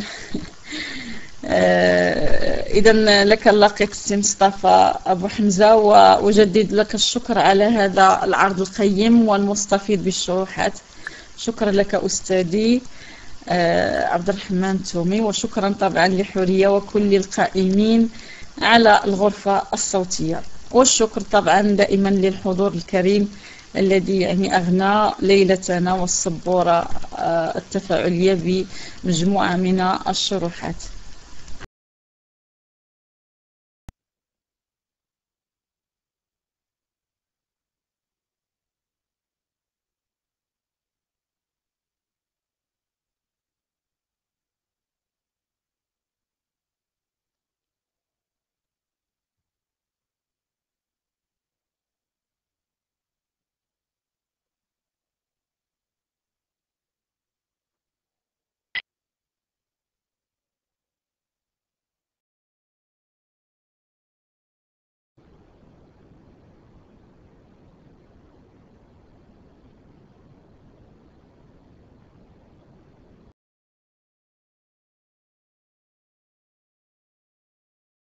الصوت مسموع مسموع إذا بذي أدي بدء أود أن أشكر الأستاذ المحاضر السيد عبد الرحمن التومي على المداخلة القيمة المداخلة الشافية الكافية حول يعني ديدكتيك الرياضيات وخاصة البعد البيداغوجي والديدكتيكي لتقديم حصة أو درس خاص بمادة الرياضيات إذا آه، بالنسبة يعني كما أنه أن هناك آه، مشكل في تخصيص حصة خاصة بأنشطة أو مرحلة التطبيق والاستثمار أضيف أن كذلك من بين المشاكل التي آه، نعانيها مع الكتاب المدرسي الخاص بالرياضيات هو التصحيح بعد التقويم. فجل التمارين المقترحة في الكتب المدرسية بالكاد تجد حيزا خاصا آه، لإجراء التمرين أو لتصح... يعني للإجابة عن التمرين. في حين أن المتعلم حينما يرتكب خطأ والخطأ وليس عيبا حينما نطالبه بالتصحيح تجده يعاني في إيجاد المكان للتصحيح. مثلا عندما يكون التمرين مطالب بإنجاز عملية الجمع أو الطرح أو الضرب أو القسمة فيخطئ فيها ويطالب بالتصحيح. تجد يصحح على منتوجه فتجد الكتاب عبارة عن يعني لا أدري يعني, يعني وضع حيز أو مكان يعني حيز خاص بالتصحيح ربما سيزيد رونقا رونقا وجمالا لهذا الكتاب المدرسي. وسيعطي التلميذ حافزية آه، أكثر للتعلم لأنه حينما يرتكب خطأ ويصحح على ذلك الخطأ بتلك الطريقة يعني آه، الروتينية والتقليدية التي نستعملها. وأنت حينما تصحح كأستاذ هذا الكتاب والدفسر فإنك تحس بأن هناك آه، خللا ما. لماذا لا يتم وهذه ملاحظة فقط يعني ليست خاصة بالأستاذ المحاضر وإنما بوضع البرامج كما أن الأستاذ لاحظ بأن هناك إهمال آه، للتطبيق لأن لا يمكن أن تطالب المتعلم بتقويم وأنت لم تمرنه لم تعطيه فرصة التطبيق والاستثمار. نفس الشيء بالنسبة للتصحيح أظن أن هذه الملاحظة. وبالنسبة للملاحظة للأستاذ السعد لطيف هذه المرحلة التي ذكرها الأستاذ وخص لها يعني الحصة الثانية مرحلة التطبيق والاستثمار هذه مسألة رسمية يعني يمكن اعتمادها في امتحان التفتيش مثلا امتحان يعني أنها فقط في طور آه، يعني اقتراح من السيد السيد الأستاذ المحاضر في انتظار يعني تبنيها من طرف الوزارة أو القائمين على آه، المواريد والكتب المدرسية. وشكرا.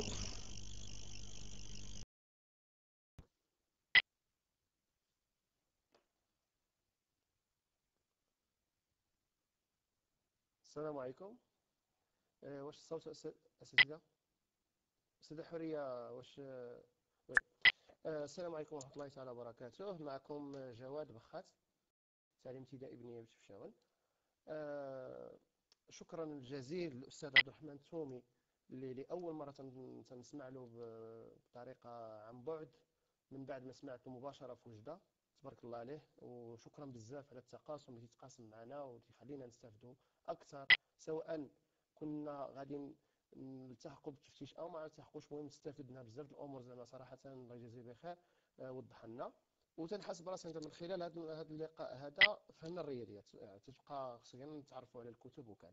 السؤال ديالي أنا هو واحد في حالة أستاذ لم يتم تد... لم آه، يتدرج في جميع المستويات في التعليم. يعني خصوصا الأستاذ يكون مثلا في نفس المستوى تخدم مدة أطول. مدة أطول في نفس المستوى. آه، تتبقى كيف يقدر مثلا أنه يوفق ما بين الكتب ديال ويوفق ما بين الدروس ويعرف التدرج ديال الدروس وخصوصا أنه آه، مطالب بالمو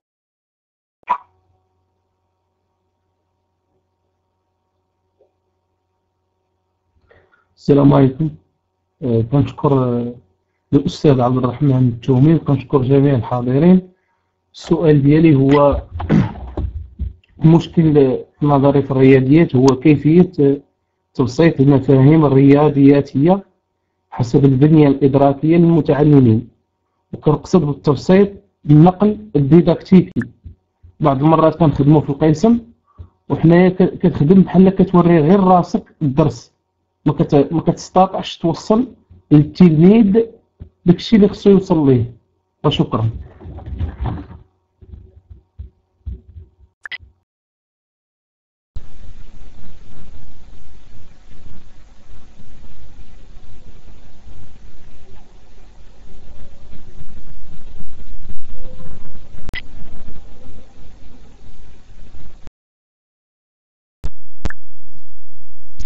السلام عليكم ورحمة الله وبركاته هل مسموع؟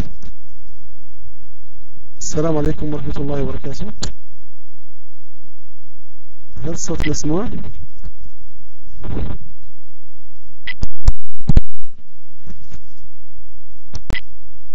طيب أشكر الأستاذ عبد الرحمن التوني على هذه المحاضرة القيمة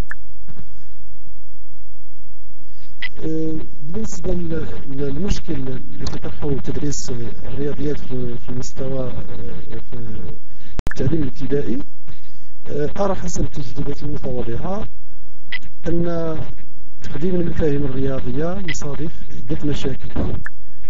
ونحن مطالبون بتطبيق مقاربات مقاربة مقاربة الكفايات وفي ظل غياب تام للمراجع وعلى رأسها دلائل الأستاذ. هذا بالإضافة إلى غياب تام تقريبا في مستوى في المؤسسات لوسائل الإيضاح. وسائل الإيضاح التي تخدم المفهوم الرياضي فهي شبه منعدمة. ليست هناك آه، آه، محاسيب كذبان أو نقطية ليس هناك كذلك صفائح وأشرطة وغير ذلك حتى لو كانت تكون واحدة وواحدة لا تكفي للعمل بالمجموعات. ونحن مطالبون في مرحلة التريض والبناء للعمل بالمجموعات. وقد ذكرت يا أستاذ أن العمل بالمجموعة قد يمتد إلى ها إلى حصة التطبيق والتدريب. يعني في غياب هذه هذه الأمور هل يعني هل سيكون يعني هل سننجح في آه، تقديم المفهوم الرياضي كما يقدم في الدول الأخرى؟ وأنتم تعلمون أن المفهوم الرياضي هو متشابه.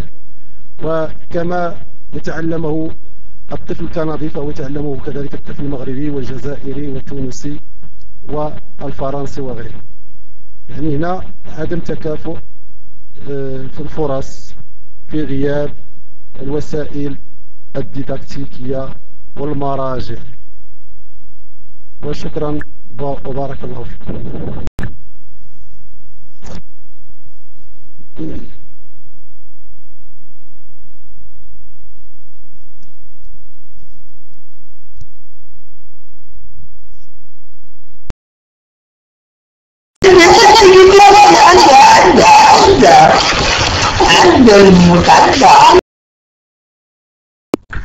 السلام عليكم. أولا نشكر أستاذنا الكريم عبد الرحمن التومي على عرضه القيم وعلى يعني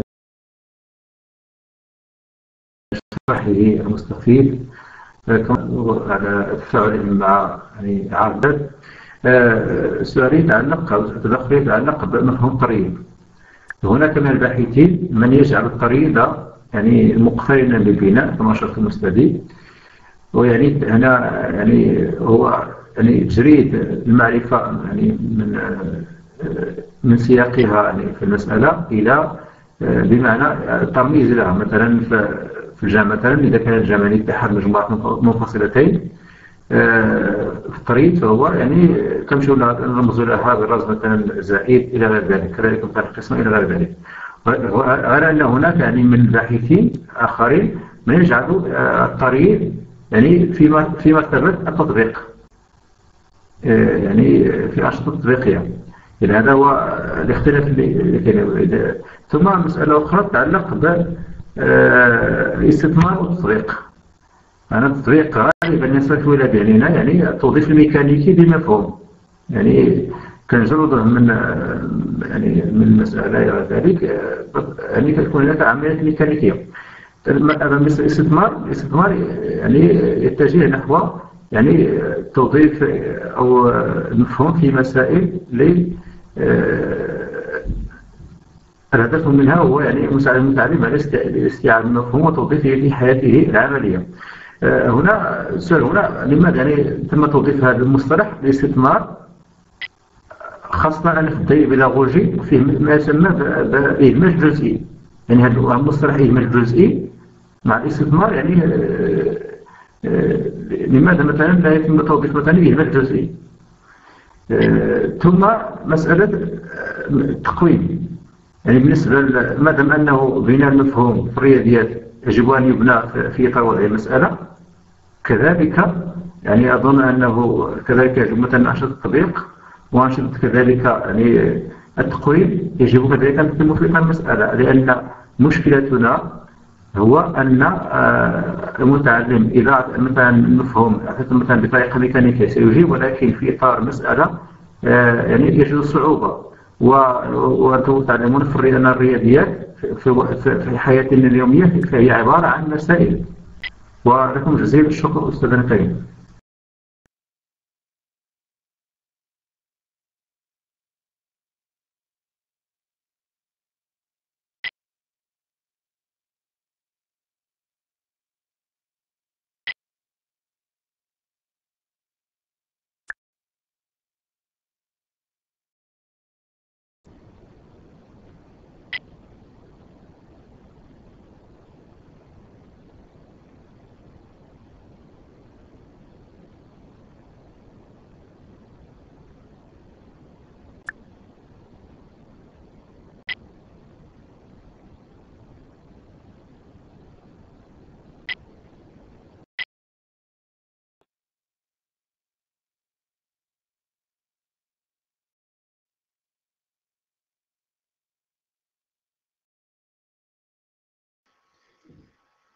السلام عليكم ورحمة الله تعالى وبركاته. آه، شكرا جزيلا أستاذي السيد عبد الرحمن.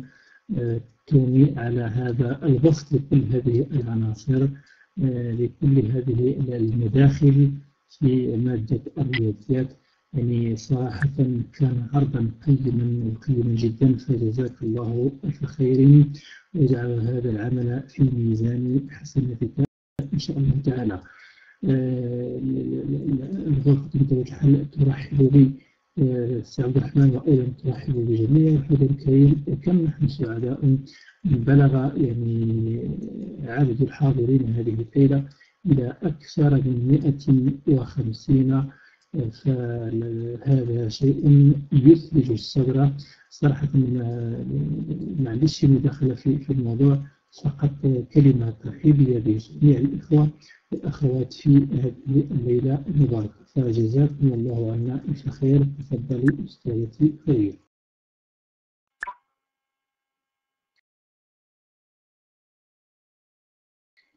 شكرا جزيلا لكل المتدخل استباها آه، هل لديك مداخلة أخيرة؟ مر لك اللاقط وإلا سأمرر اللاقط لأستاذنا سي عبد الرحمن تومي للختم وللإجابة عن تساؤلاتكم. وقلت أن يعني العدد ما شاء الله كان كبيرا وطبعا تناسلت عدة أسئلة. أغلبها تكرر يعني الأسئلة التي سجلتها. قد تم تناولها شفهيا. إذا تقريبا استوفينا جميع الأسئلة. ولك الكلمة أستاذ الكريم.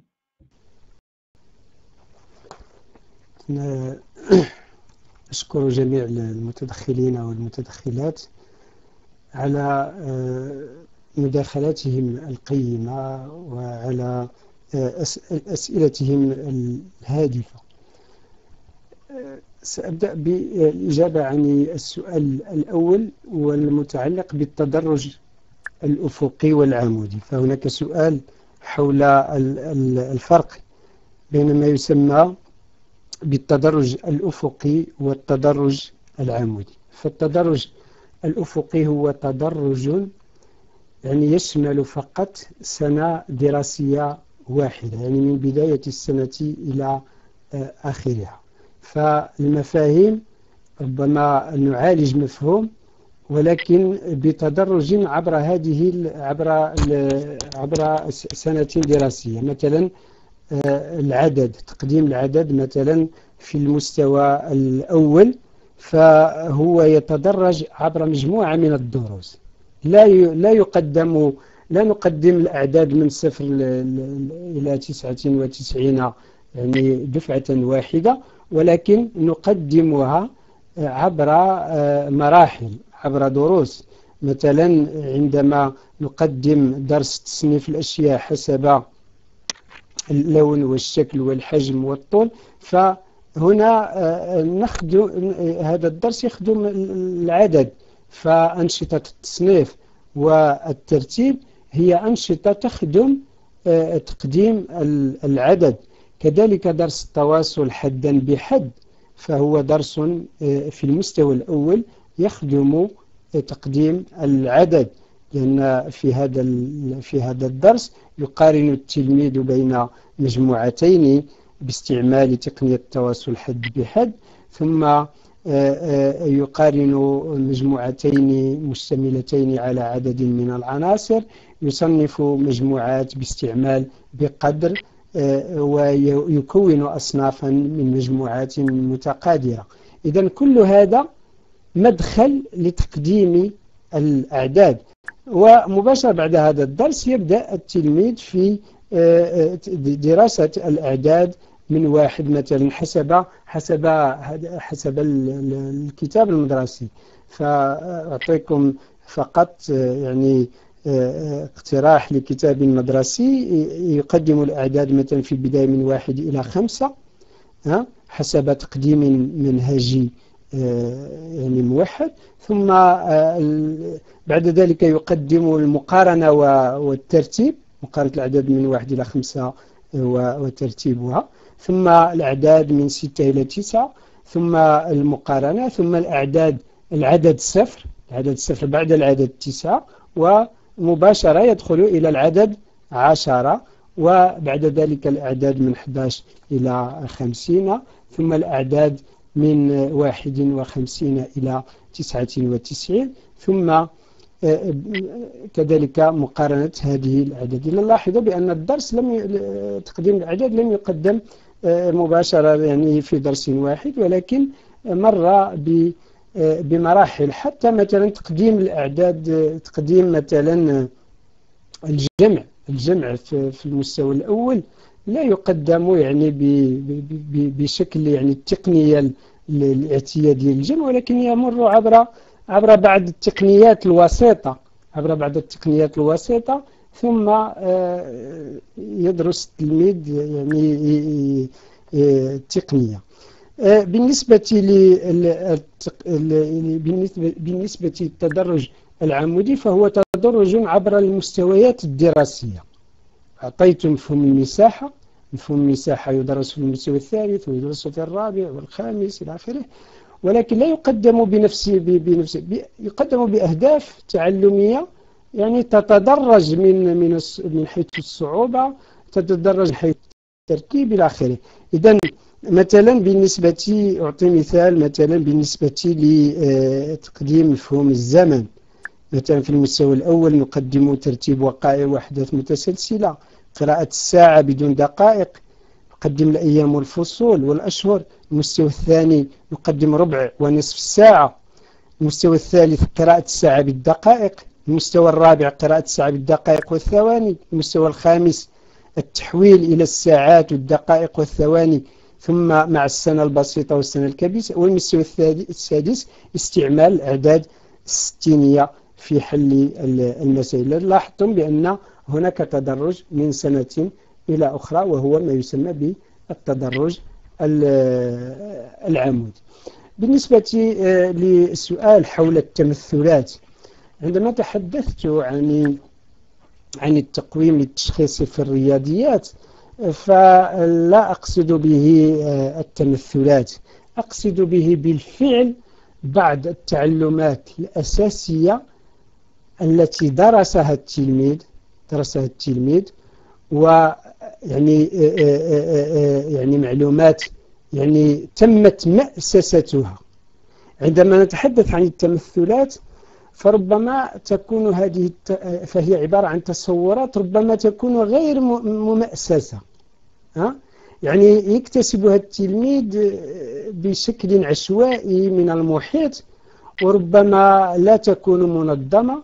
ربما لا تكون ممأسسة ولكن أنا عندما تحدثت عن التعلمات الأساسية وهنا أركز على الأساسية تحدثت السابقة تحدثت عن تلك التعلمات الممأسسة التي سبق أن تعلمها التلميذ ولها ارتباط بالمفهوم الجديد.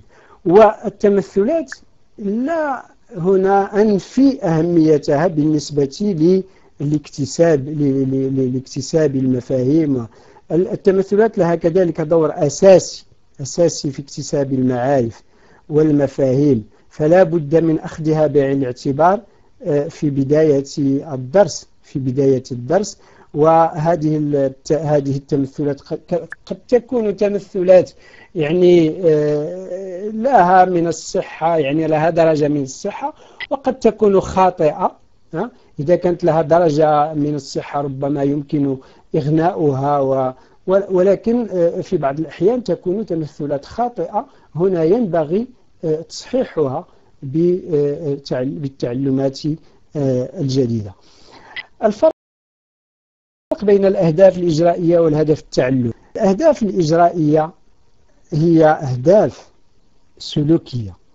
سلوكية هي أهداف مرتبطة ببيداغوجيا الأهداف وهي الأهداف السلوكية التي تمتاز بمجموعة من الخصائص من الخصائص مثلا كهذه الأهداف ربما تعتمد على يعني لا تهم يعني الطريقة طريقة اكتساب هذه الأهداف ربما يمكن أن نكتسبها حتى من خلال التكرار حتى من خلال المثير والاستجابة حتى من خلال من خلال التعزيز من خلال العقاب من خلال المهم أن نكتسب تلك الأهداف الإجرائية.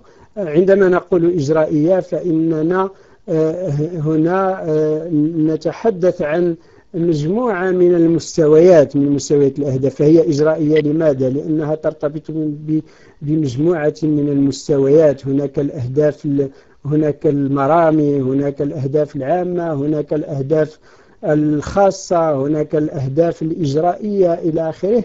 لهذا فهي عندما نقول أجراء فهي يعني تفتيت تفتيت تلك الأهداف العامة إلى أهداف خاصة ثم تفتيت تلك الأهداف الخاصة إلى أهداف الإجرائية وحتى على مستوى الاكتساب فإن هنا لا لا معنى للبيداغوجيات الحديثة يعني تطبيق البيداغوجيات الحديثة إلى فهذا لا يهم لا يهم في الأهداف الإجرائية. عندما نتحدث عن الهدف التعلمي فالهدف التعلمي هو هدف يعني لا يرتبط بأهداف أخرى بمستويات أهداف أخرى ولكنه يرتبط بكفاية بكفاية ويعتبر مرحلة من مراحل اكتساب الكفاية ويرتبط كذلك بالقدرات. وقلت بأنه يمكن تعريفه بأنه تطبيق قدرة على محتوى يكون موضوع تعلم وحتى اكتساب هذا الهدف لماذا؟ لأننا ربطناه بالتعلم هدف تعلمي. لأن هنا طريقة التعلم واستراتيجية التعلم هي أساسية في اكتساب الهدف التعلمي. لا يمكن أن نتحدث عن أي طريقة لاكتساب الهدف التعلمي. هنا نتحدث عن الوضعية المشكلة كعنصر أساس في اكتساب في تحقيق الهدف التعلمي. نتحدث عن البيداغوجيات الحديثة التي تفرض تلك العلاقة بين الأستاذ والمتعلم كإجراء أساسي كإجراءات أساسية بيداغوجية أساسية لاكتساب الهدف التعلمي. إذا هذا هو الفرق بين بين المفهومين. بالنسبة لسؤال آخر تحدث عن التعلمات الجديدة وعلاقتها بالتعلمات السابقة وقال بأن فقدان المتعلمين لتلك التعلمات السابقة لا يعينهم بالطبع هذا شيء مفروغ منه. فالمتعلم إذا كانت له صعوبة صعوبة في فهم ما بعض المكتسبات السابقة فسوف يجد صعوبة كذلك في اكتساب التعلمات الجديدة وهذا هو دور دور التقويم التشخيصي. لا تكون تشخيصي في بداية السنة الدراسية لأنه هو أساسي تلك ال تلك ال الأسابيع الأولى من التعلم والآن هو بشكل رسمي. الآن الوزارة تقترح بشكل رسمي ذلك التقويم. وهو ما تسميه بتقويم المستلزمات. ما معنى المستلزمات؟ ويدخل في هذا الإطار. يعني مستلزمات السنة السنة الحالية ما التعلمات التي ينبغي أن تكون لدى المتعلم ليتمكن من من استئناف تعلمه بالنسبة للسنة الحالية ويكون كذلك في بداية كل درس. وعملية المعالجة هي أساسية أساسية لجعل المتعلم يعني يتحكم في التعلمات السابقة لاستئناف تعلمه الجديد. هناك سؤال يتحدث عن التطبيق والاستثمار. هذه الحصة وكان السؤال حول هل هذا مقترح؟ أو إجراء واجب فبالطبع فهذا هذه هذه المرحلة هي مرحلة أساسية أساسية. لا يمكن أن أن يعني نغفل عنها. وربما حتى بالنسبة لتلك الكتب المدرسية وتلك وحتى بالنسبة للبرامج المنقحة فربما ربما فلا يمكن أن نقول بأنها أغفلت هذه المراحل ولكن هي تدخلها بشكل أو بآخر في في في في المراحل التي تم اقتراحها. ولكن هي مرحلة ربما ينبغي أن يخصص تخصص لها يعني حصة كاملة وبأهداف واضحة بأهداف واضحة وبأنشطة واضحة حتى لا يعني حتى نميزها عن التقويم عن أنشطة التقويم. وهي ليست اقتراحي أنا ولكن هي اقتراحات اقتراح الأدبيات التربوية والبيداغوجية والديداكتيكية يعني هذه المرحلة هي مرحلة موجودة ولاحظوا إلى إلى مشيتوا لأجير اوترومون الآن في في في في المستويين الخامس والسادس فهي تتحدث يعني بشكل واضح عن هذه عن هذه المرحلة entraînement réinvestissement كمرحلة ثانية في في يعني من ضمن مراحل أي درس لأن agir autrement اقترح اقترح بعض المراحل المشتركة مراحل مشتركة لا بين جميع المكونات بين مكون مشتركة بين مكون l'expression l'expression communication la lecture les activités de langue l'expression écrite إلى آخره. وإذا تمعنتم في هذه المنهجية فستجدون أن أن هذه المرحلة مرحلة التطبيق والاستثمار l'entraînement ريانفستيسمون هي مرحلة يعني كانت في هذه البرامج في هذا البرنامج كانت واضحة وخصصت لها يعني خص لها وقتا أساسيا في هذا في في في جميع الدروس. بالنسبة كيفية تبسيط المفاهيم الرياضياتية وتحدث السؤال عن النقل الديداكتيكي. فعملية النقل الديداكتيكي إذا بالطبع هناك مستويات من النقل الديداكتيكي. هناك هناك ما يسمى بالنقل المستوى الأول من المعرفة العالمة إلى المعرفة القابلة للتدريس. هذا مستوى يعني يمكن أن نجده في يعني في الكتب المدرسية في التوجيهات والبرامج التربوية إلى آخره. هذا مستوى يعني لا يتحكم فيه الأستاذ تتحكم فيه ربما الجهات المعنية بالتأليف إلى آخره نجده. ولكن هناك مستوى آخر من ربما من المعرفة القابلة للتدريس إلى المعرفة المدرسة. هذا هو المستوى الذي يتحكم فيه الأستاذ وهنا يتدخل الأستاذ. هنا الأستاذ يتدخل في هذا المستوى ليكيف المعرفة حسب خصوصية قسمه حسب خصوصية المتعلمين حسب وسطهم حسب مستواهم الدراسي حسب مستواهم الدراسي. ولكن تأكدوا بأن حتى هذه حتى هذه حتى هذه المعرفة المدرسة ليست هي المعرفة التي يكتسبها التلميذ. كذلك التلميذ له له كلمته في هذه في, هذا النقل الديداكتيك فهو يستوعب فقط ما يناسبه ويستوعب ما هو قادر على استيعابه وما يفهمه. وما يناسب محيطه وما يناسب محيطه وما يفهمه. إذن هو كذلك يقوم بنقل ديداكتيكي من نوع آخر. وهنا نتحدث عن المعرفة المكتسبة المعرفة المكتسبة من طرف المتعلم.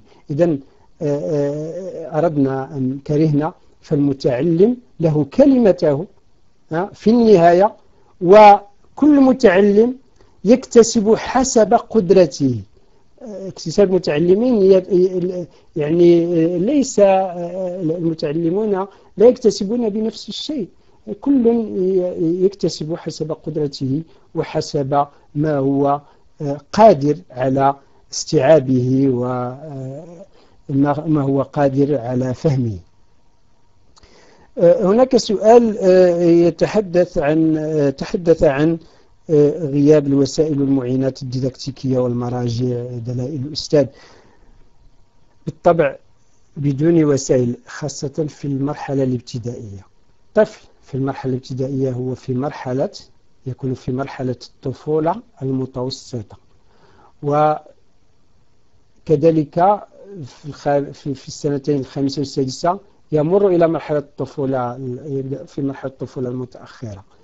والطفل في هذه المرحلة هو الطفل يؤمن بما هو ملموس. يعني ينبغي أن نجعل التلميذ يتعلم باقتراح مجموعة من الأدوات مجموعة من الوسائل مجموعة من المعينات الديداكتيكية. إذا لا يمكن أن نعلم طفلا يعني يعني بدون بدون أدوات يعني نعلمه بأشياء مجردة بدون آه، وسائل بدون وضع آه، مناولات بدون مناولات. فالمناولات أساسية في هذه المرحلة مرحلة التعليم الابتدائي. ولكن الأستاذ هذه غير نصيحة نصيحة يعني الآن كلنا يعني نشتغل بوسائلنا الخاصة. كلنا نشتغل بوسائلنا الخاصة.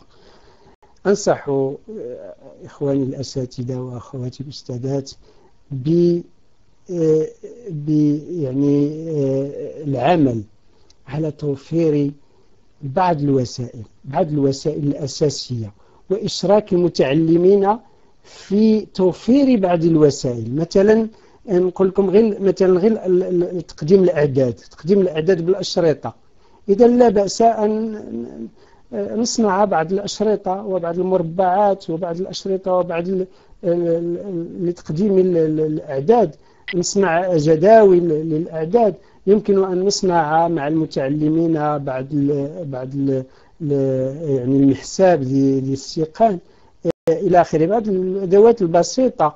المهم أن لا نترك يعني الأشياء هكذا يعني تمر ولكن نتدخل وهذا فيه أجر آه، عند الله ونحن نتعامل مع أطفال آه، يعني صغار يعني آه، لابد أن نساعدهم ونعلمهم بالشكل المطلوب.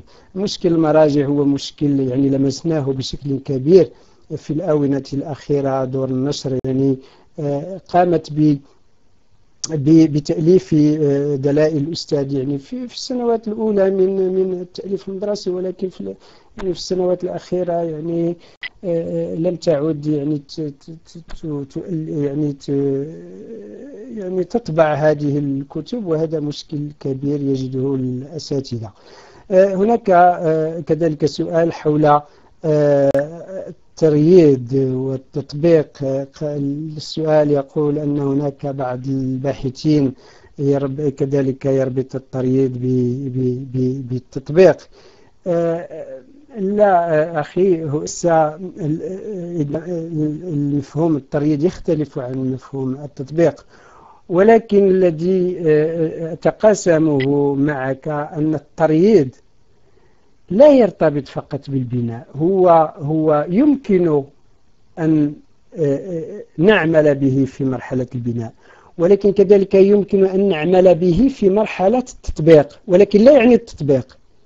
حتى في مرحلة التطبيق فإننا نتعامل مع وضعيات نتعامل مع وضعيات نصية لغوية. إذا هذه الوضعيات اللغوية يمكن أن نقوم بترييدها حتى ولو كانت يعني وضعيات للتطبيق فإننا نقوم بترييدها وتمثيلها وقبل أن إيجاد الحل الرياضياتي المناسب لها. إذا لا نقول بأن الترييد هو التطبيق ولكن التطبيق الترييد عملية يمكن أن كذلك أن نستعين بها في مرحلة التطبيق عند تعاملنا مع وضعيات الاستثمار يعني تلك المسائل النصية اللغوية التي تقترح يمكن أن نقوم مع المتعلمين بترييدها آه، هناك آه، كذلك سؤال تحدث عن آه، عن التدرج من التمرين إلى إلى إلى المسائل وأكد على أهمية المسائل. ولكن كد على أهمية المسائل ولكن هنا أؤكد على شيء أساسي وهو أن التعامل في مرحلة التطبيق لابد أن نتعامل مما هو سهل إلى ما هو صعب. دائما من من البسيط إلى المركب. عندما نقترح أنشطة آه، تطبيقية أو حتى أنشطة تقويمية لابد أن ننطلق مما هو سهل إلى ما هو صعب مما هو آه، آه، يعني بسيط إلى ما هو مركب إلى آخره. فهنا في هذا عند حديثنا عن آه، عن هذه المرحلة. فلا بد من أن نميز بين ثلاثة مصطلحات توظف في تدريس الرياضيات. هي آه، السؤال والتمرين والمسألة. كل كل مفهوم له أهميته في في في هذه المرحلة. السؤال أساسي كذلك. السؤال عند البيداغوجيين هو أسلوب يستخدم للحصول على المعلومات أو البيانات أو المعرفة. ويمكن اعتباره كذلك مثيرا أو موقفا يحتاج إلى استجابة من المتعلم. وتتجلى هذه الاستجابة بالنسبة للرياضيات في استرجاع قواعد وخاصيات وقوانين إلى آخره. إذا كيف يمكن استرجاع بعض القواعد والخاصيات والقوانين من خلال السؤال؟ والسؤال كذلك له أهميته. لا بد من طرح سؤال يعني يسترجع التلميذ به بعض القواعد والقوانين ولكن هذا لا يكفي. هذا لا يكفي. لا بد حتى معرفة القواعد لا تعني بالضرورة أنني أستطيع تطبيق هذه القواعد في تمارين أو وضعيات. هناك كذلك التمرين. التمرين هو تطبيق. عندما أتحدث عن التمرين أبدأ في التطبيق تطبيق روتيني ولكن مباشر لقاعدة.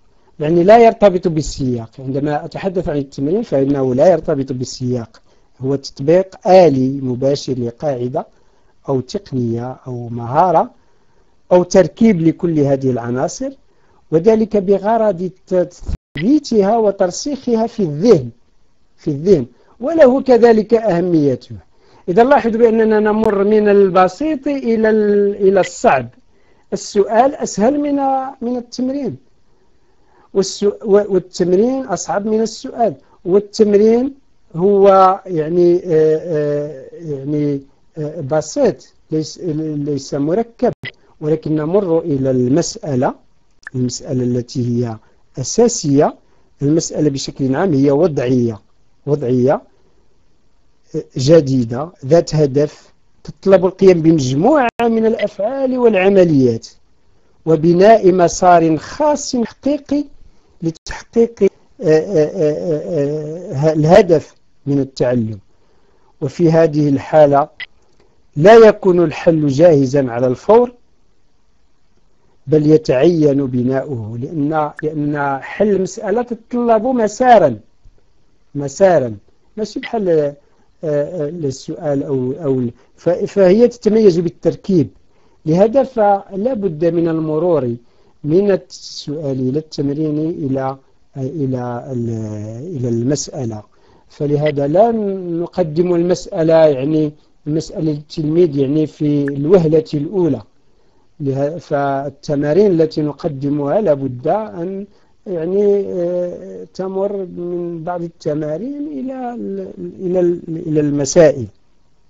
إذا هذا تدرج يمكن أن آه، نتبنى هذا التدرج في اقتراح الأنشطة الخاصة بالتطبيق وحتى الأنشطة الخاصة آه، بالتقويم. إذا بهذا أكون قد أجبت عن يعني على ما أظن على كل الأسئلة وأتمنى للجميع التوفيق إن شاء الله في العمل وفي الحياة بصفة بصفة عامة. ونلتقي مجددا في الأسبوع المقبل يعني سوف أقترح عليكم الجزء الثاني من هذه من هذه الحصة وستكون حصة إجرائية مئة في المئة يعني من خلال اقتراح يعني لما ما درسناه اليوم ما رأيناه اليوم سوف نطبقه في درس إجرائي إن شاء الله. وإلى ذلك الحين يعني أتمنى لكم يعني الصحة والعافية والتوفيق والنجاح إن شاء الله. إليك الخط أستاذة.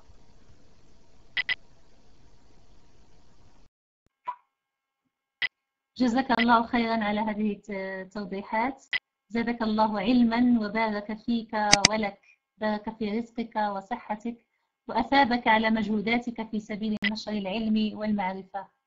فقط إشارة نستسمح يعني من الذين بقيت لديهم بعض الأسئلة العالقة. يمكن تأجيلها آه، حضورنا الكريم إلى الحصة المقبلة كما وعدنا آه، محاضرنا اليوم. آه، ستكون إن شاء الله الجمعة المقبلة الحصة الثانية من هذا المكون الرياضيات. إشارة فقط أنه يمكن خلال هذه الفترة